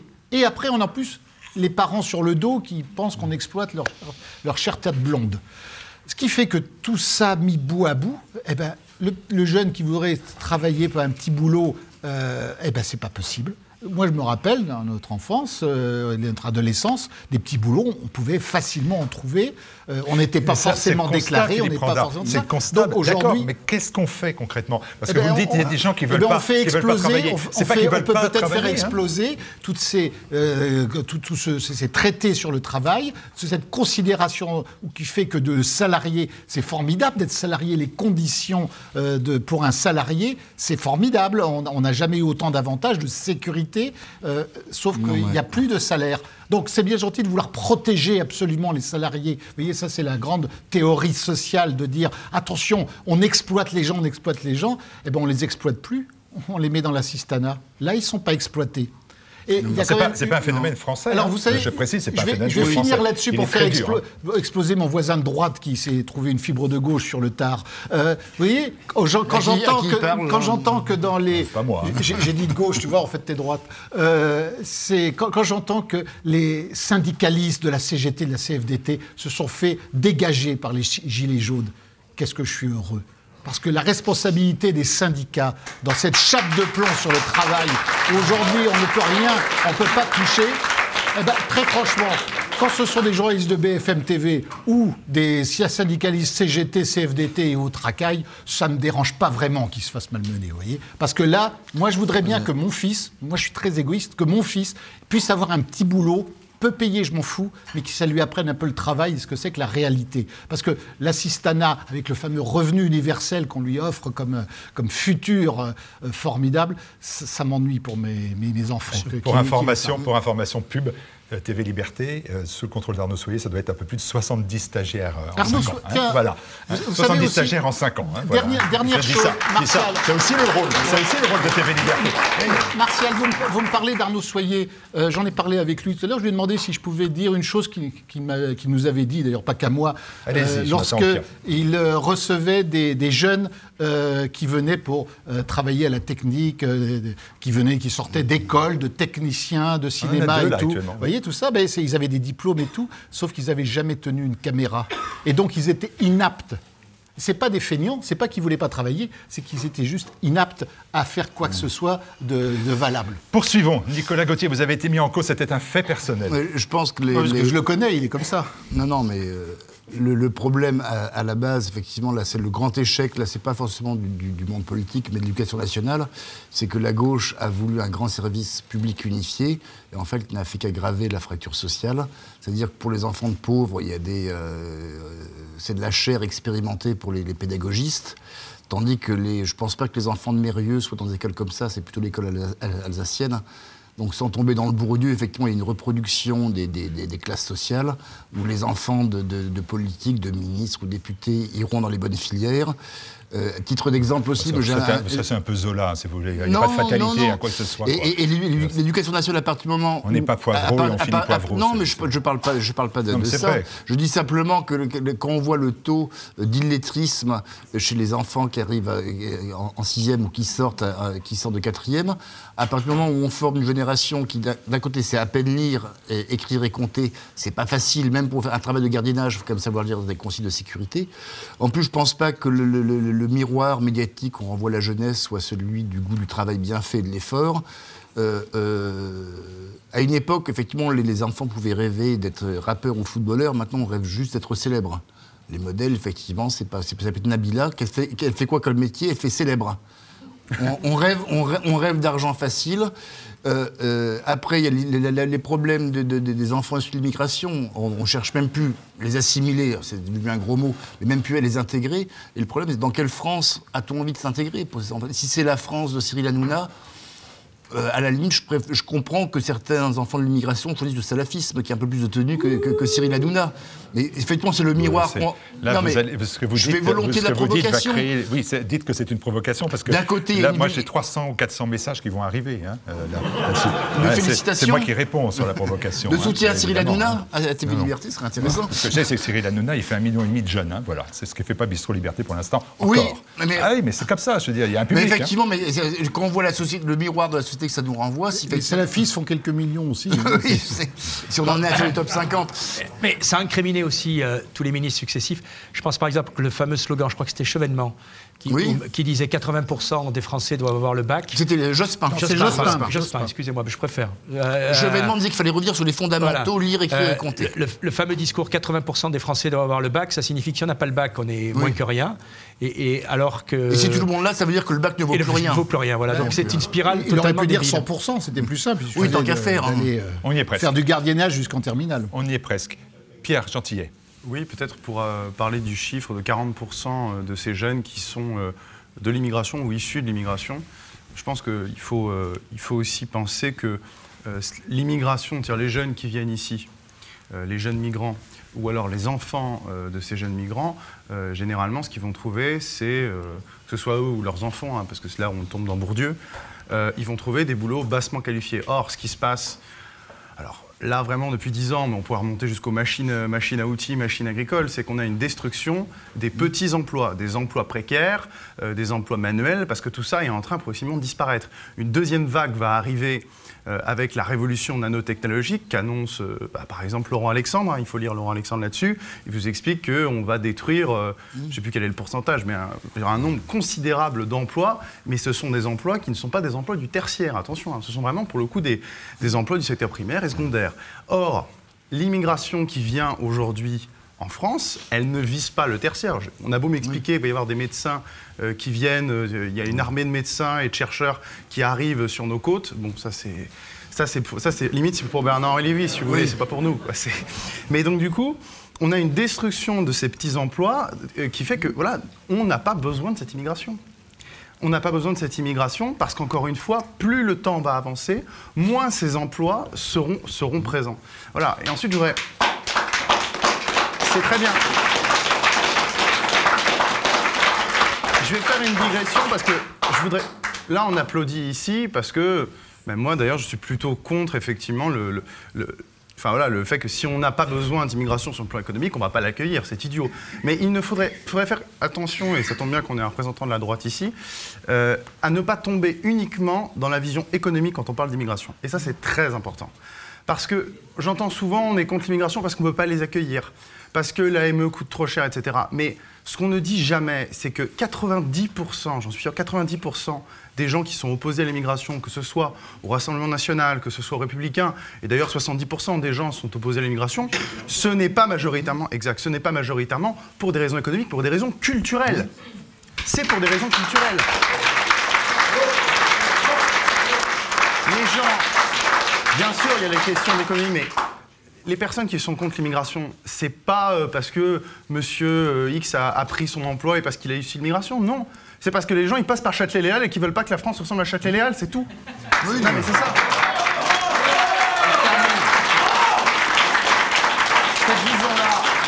Une, vision complètement désincarnée, une vision économique. Si nous, on adopte la logique économique, si demain l'immigration nous rapporte, comment est-ce qu'on pourra être contre? Alors que 90% de notre électorat est contre pour des raisons culturelles. L'homme n'est pas un nomade, l'homme n'est pas une monade perdue euh, dans je ne sais quel placement organique, l'homme n'est pas un homo economicus, l'homme c'est un, être de chair et qui a besoin par rapport à ses congénères eh d'établir des liens qui soient des liens humains, pas des liens contractuels que le libéraux voudrait absolument nous poser. Donc il faut absolument, c'est pour ça que je voulais faire cette digression, parce que j'ai vos applaudissements et je vous en remercie.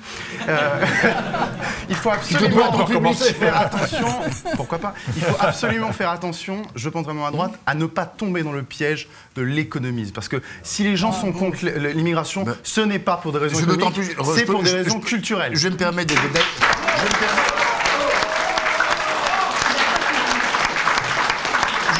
d'affiner votre propos, d'autant plus qu'effectivement l'immigration, effectivement, ça rend malheureux beaucoup de Français de souche, mais je ne suis pas persuadé que ça rende les immigrés plus heureux pour autant.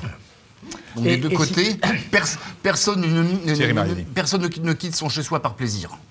Surtout pour arriver chez un endroit qui n'est pas chez soi et qui est généralement hostile. Monsieur Mariani. Et ce que disait Pierre, ça rejoint ce que je disais tout à l'heure au début de notre euh, rencontre, euh, on peut rejoindre un mouvement sans être d'accord sur des questions économiques, L'important, c'est d'être d'accord sur le reste. Voilà. Euh, ce qui est fondateur, même si c'est un sujet important, je ne sais pas, les autoroutes, par exemple. Voilà, faut-il ou non privatiser ou renationaliser les autoroutes? C'est un sujet important, mais ce n'est pas ce qui fait la nation. Et ça, on peut le changer du jour au lendemain. Ce qui fait la nation, c'est, euh, comme le disait Pierre Gentillet, euh, une population, un territoire, comment ça évolue, comment évolue la culture. Et voilà pourquoi, même si j'ai des désaccords comme je le disais en début d'émission, sur quelques points du programme économique. Sur l'essentiel, je suis d'accord que c'est sur l'essentiel qu'on doit s'entendre. Attention, hein, Pierre, parce que là, on vient de passer, j'ai bien compris, on vient de passer quand même du grand déclassement au grand remplacement. Juste, juste un mot d'ailleurs. Pour poursuivre. Oui, mais en fait c'est lié. Mais juste, pour faire, le lien. Mais justement, pour le lien, c'est qu'en fait la droite se détruit et se vraiment sur des questions économiques. Mais une économie, c'est pas vous dire, on s'en fout. Mais à l'histoire de l'humanité, une économie, ça se détruit, ça se reconstruit, ça se détruit, ça se reconstruit, ça se détruit, ça se reconstruit. Un peuple, non. Une culture, non. Il y a des cultures qui ont disparu dans l'histoire. Pierre Gentilly vient de parler justement de, de grand remplacement, mais le grand remplacement, Marine Le Pen le refuse. Elle considère que c'est de la foutaise, que ça n'existe pas. Ah, c'est moi qui en ai parlé, mais c'est vrai que. Non, elle a fait la question C'est moi qui ai parlé de dire que c'était un fantasme de la droite extrême. J'ai pas encore rejoint le, Rassemblement national depuis assez, le Rassemblement national dans sa liste depuis assez longtemps pour être un spécialiste de ce qui a été dit ou pas dit. Euh, dans les faits, par contre, je crois que tout le monde constate. Euh, euh, les faits, ce qui se passe, je disais tout à l'heure, j'ai été maire d'une ville de 10 000 habitants, j'ai vu comment la, ville évoluait en quelques années. Et, puis surtout, euh, quand j'étais maire, il y, avait il y avait deux immigrations, si vous permettez. Et je, cherche désespérément des statistiques là-dessus, je crois qu'elles n'existaient pas. Si vous me permettez, il y avait une immigration traditionnelle européenne. Euh, moi, je ne parle pas italien. Il y a toujours eu de l'immigration, de toute façon. Oui, je ne parle pas italien. Jordan Bardella, qui est notre tête de liste, ne parle pas italien. Et on discutait ensemble pour les mêmes raisons, parce qu'on était en France et on devait s'intégrer, donc nos parents et grands-parents parlaient italien entre eux et français avec nous. Et deuxièmement, euh, quand vous êtes maire, vous remarquez une chose, il y a une immigration, quand les gens meurent, ils se font enterrer en France. Et une immigration, quand les gens meurent, de mort naturelle, attention, hein, euh, on va se faire enterrer euh, dans son pays d'origine. Au bled, oui. Je vous laisse la paternité géographique, mais c'est la réalité. Et, et c'est quand même euh, le signe qu'il y a une immigration qui choisit d'adopter la France de manière quasi définitive, et une autre pour laquelle la France reste toujours une immigration, euh, mais on a la nostalgie euh, du pays d'origine. Et j'ai jamais trouvé ces statistiques. Si quelqu'un peut même me dire si ça existe, mais voilà, je pense que ce serait intéressant et surtout de voir quelle nationalité. À l'origine de l'immigration maghrébine, c'est une immigration de travail. Oui. Et, les, avant le, regroupement familial, on a parlé de travailleurs immigrés à l'époque, un, terme qui a disparu, et l'argent repartait au bled tous les mois, quoi. Et, surtout, une, temporaire. Excusez-moi, et surtout l'intégration se faisait mieux. Moi, mon père était italien. Euh, il n'avait pas, c'était pas à l'école alsacienne puisqu'il savait pas mm. écrire le français, mais il savait compter. C'est ce qu'il a sauvé d'ailleurs. Euh, mais euh, comme, comme, le regroupement familial n'existait pas, il était obligé d'épouser une française. Et on oublie que très souvent, l'intégration s'est fait aussi comme ça parce que dans le couple, à l'époque, il y avait un français, un non français. Stéphanie, Stéphanie, à vous. Même si Pierre Gentilly a fait du bignon dans le conviction. non, non, je n'ai pas, voulu vous prendre. Hein. Elle va nous faire du gentil. donc. C'est pas un reproche. Hein. non, mais je repartirais d'ailleurs volontiers de là où, ah. Ou peut-être euh, en fait du même point de départ que Pierre. J'étais déjà allé suffisamment loin. Hein, Oui, mais je, repars de là parce que moi j'aime bien. Et donc euh, en fait ces chiffres qui sont rapportés par l'OCDE, quand vous prenez la définition de l'OCDE euh, dans Wikipédia, on vous dit que le point commun entre les pays qui font partie de l'OCDE, les deux premiers, les deux points communs principaux, c'est gouvernement démocratique et économie de marché. Donc, ah bah le CDE c'était imposture, ça je suis non, d'accord mais tout à fait. Non mais c'est très intéressant. Et donc c'est curieux parce que cette économie de marché vise à faire de nous des consommateurs. Donc, euh, donc des abrutis en quelque sorte. Surtout pas des gens qui produisent, des gens qui réfléchissent, des gens. Donc ça fait partie euh, d'un système euh, et, ils ne doivent pas être étonnés du résultat puisque c'est ce qu'ils veulent. Et là, je reviendrai à ce que disait tout à l'heure M. Mariani. Vous, vous disiez pardon, que M. Macron ne comprenait pas qu'il fallait une voiture quand on était à la campagne. Enfin, grosso modo, c'était ça. Mais je crois qu'il comprend parfaitement il comprend parfaitement. Son but, c'est de nous détruire.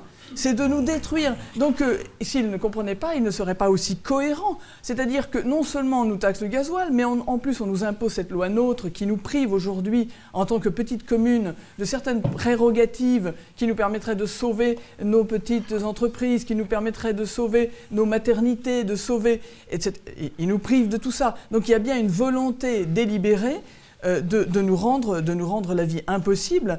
et alors, j'irai plus loin. Stéphanie ne veut pas détruire la campagne. Il l'ignore, il, ne la connaît pas. Non, non, non, non, non. Il veut, nous, il veut nous détruire et les emplois qui vont avec. Il veut nous détruire. Pour quelle raison il, veut nous détruire non, non, Et pourquoi Parce que, parce que. Il n'a pas cette conception de la France parce que pour lui, c'est une. Parce que la France est une start-up. La campagne, c'est pas une start-up. Vous confondez avec Dark Vador, là. De faire de nous, de faire de nous des, des, des, consommateurs, de faire de nous euh, ces nomades, des, des gens déshumanisés, ce, nouvel homme inspiré des Lumières qui, est en fait totalement déshumanisé et qui, passe son temps à consommer. Et je, reviendrai sur l'autre volet de la question qui est l'enseignement. Je donne quelquefois des conférences dans des, par exemple, lycées agricoles. Et qu'est-ce que je vois affiché à l'entrée du lycée agricole Sur le panneau d'affichage, une grande affiche avec marqué On s'exprime une affiche qui est absolument immonde et qui a en bas le petit logo Liberté, égalité, fraternité avec la belle tête de Marianne. Donc, si c'est pas pour faire des abrutis, et je, euh, on, a aussi la distribution gratuite de capotes euh, au collège qui est bientôt prévue. Je lisais récemment que peut-être que ce serait plus intelligent de, de, distribuer gratuitement des bécherelles. Hein, je Donc, euh, ça n'a pas le même usage. Convenons-en, Stéphanie. Non, mais c'est bien, c'est bien la preuve. C'est bien la preuve que M. Macron et la clique et tous ces gens qui l'entourent et depuis très longtemps.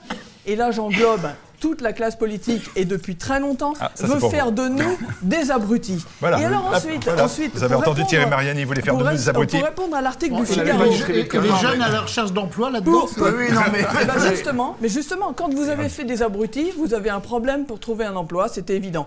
Mais alors, au-delà de ça, au-delà de ça, au-delà de ça, c'est que euh, parmi les gilets jaunes, euh, je dirais que l'argument massu qui est repris, c'est l'hypertaxation.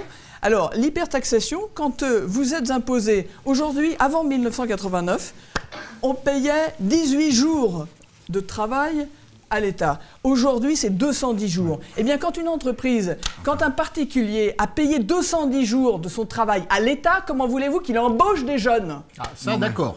Eh bien oui. Alors, enfin, Monsieur le ministre. Et moi, ah, je, continue et je dis qu'à ah, tous, ces intellectuels, tous ces intellectuels qui prennent de haut les gilets jaunes, tous ces intellectuels qui prennent de haut les gilets jaunes et qui disent oh, oh, oh, ils sont comme des jeunes sur leur tonneau. Et ils ne voient pas le rapport et ils ne parlent pas des jeunes, mais bien sûr que si, qu'ils parlent des jeunes.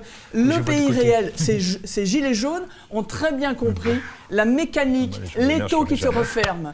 Et, donc, euh, il faut travailler avec eux. On verra ce qui va Merci beaucoup. Merci beaucoup. Allez, 3 millions de jeunes sans travail. Laissez-nous d'abord le temps, dit Emmanuel Macron, de loger et nourrir des dizaines de milliers de migrants qui arrivent. Effectivement, je rappelle que l'Union européenne a demandé à la France d'améliorer l'insertion sur le marché du travail des descendants d'immigrés en priorité. Beaucoup de jeunes Français menacés par la pauvreté et un jeune immigré fait cette confidence à un jeune euh, natif de natif, comme il faut le dire, fait comme moi, émigre. Et puis 3 millions de jeunes sans travail, eh bien, faudrait qu'on alerte le gouvernement en portant des gilets jaunes. Voilà. Merci à Ignace. Quand vous allez arriver au Parlement européen, c'est la première fois, oui. vous n'avez jamais été député européen, qu'est-ce que vous avez envie de dire et de faire en priorité? Vous avez bien une idée euh, qu'est-ce que vous avez envie de, qu'est-ce que vous avez envie de porter? Euh, ben D'abord, vous savez, quand vous arrivez dans un Parlement, quel qu'il soit, les trois ou quatre premiers jours, c'est les jours à pas louper parce qu'il faut être dans la commission où vous voulez. Si vous arrivez en retard, euh, on vous laisse les commissions les plus. Euh, ça, c'est 20 ans de députation, là, on ne vous la refera pas. d'accord. Ça, ça, d'accord. Madré, ça, je comprends. Donc, j'ai envie de m'intéresser à la commission des affaires internationales, à la, aux commissions qui concernent le commerce international. Après, quel sujet m'intéresse particulièrement Parce qu'on dit, on dit Mariani, il va là-bas parce qu'il veut défendre les intérêts euh, de la les Russie. siens, Non, non, non, c'est pas... Voilà, on dit, bah si, c'est quelqu'un qui, est pro-russe, donc il va là-bas pour, euh, pour éclairer, pour éclairer les, consciences et, et poutiner l'Assemblée. Non, je pense qu'il y, a, y, a un vrai défi. Il y a un vrai défi. Euh, et, pour moi, c'est un test. Si l'Europe réussit ça, elle prouvera qu'elle peut exister. Elle peut exister, je veux dire, en, en étant indépendante vis-à-vis des blocs, aussi bien de la Russie que de la Chine ou des États-Unis. Alors le problème pour le moment, c'est qu'on fait systématiquement ce que veulent les États-Unis. J'en veux pas aux États-Unis qui sont nos alliés, je veux dire, j'en veux à l'Europe d'être nulle et faible qui sont historiquement nos alliés, mais je veux dire, le, principal responsable, c'est celui qui accepte cette situation. C'est pas qu'un État essaye d'être fort, que ce soit la Chine, la Russie ou, ou les États-Unis, il, il, fait, ça, j'allais dire, ce, ce qu'il doit faire. Qu'un État accepte de le subir, c'est ça qui n'est pas normal. Et donc, qu'est-ce que j'aimerais...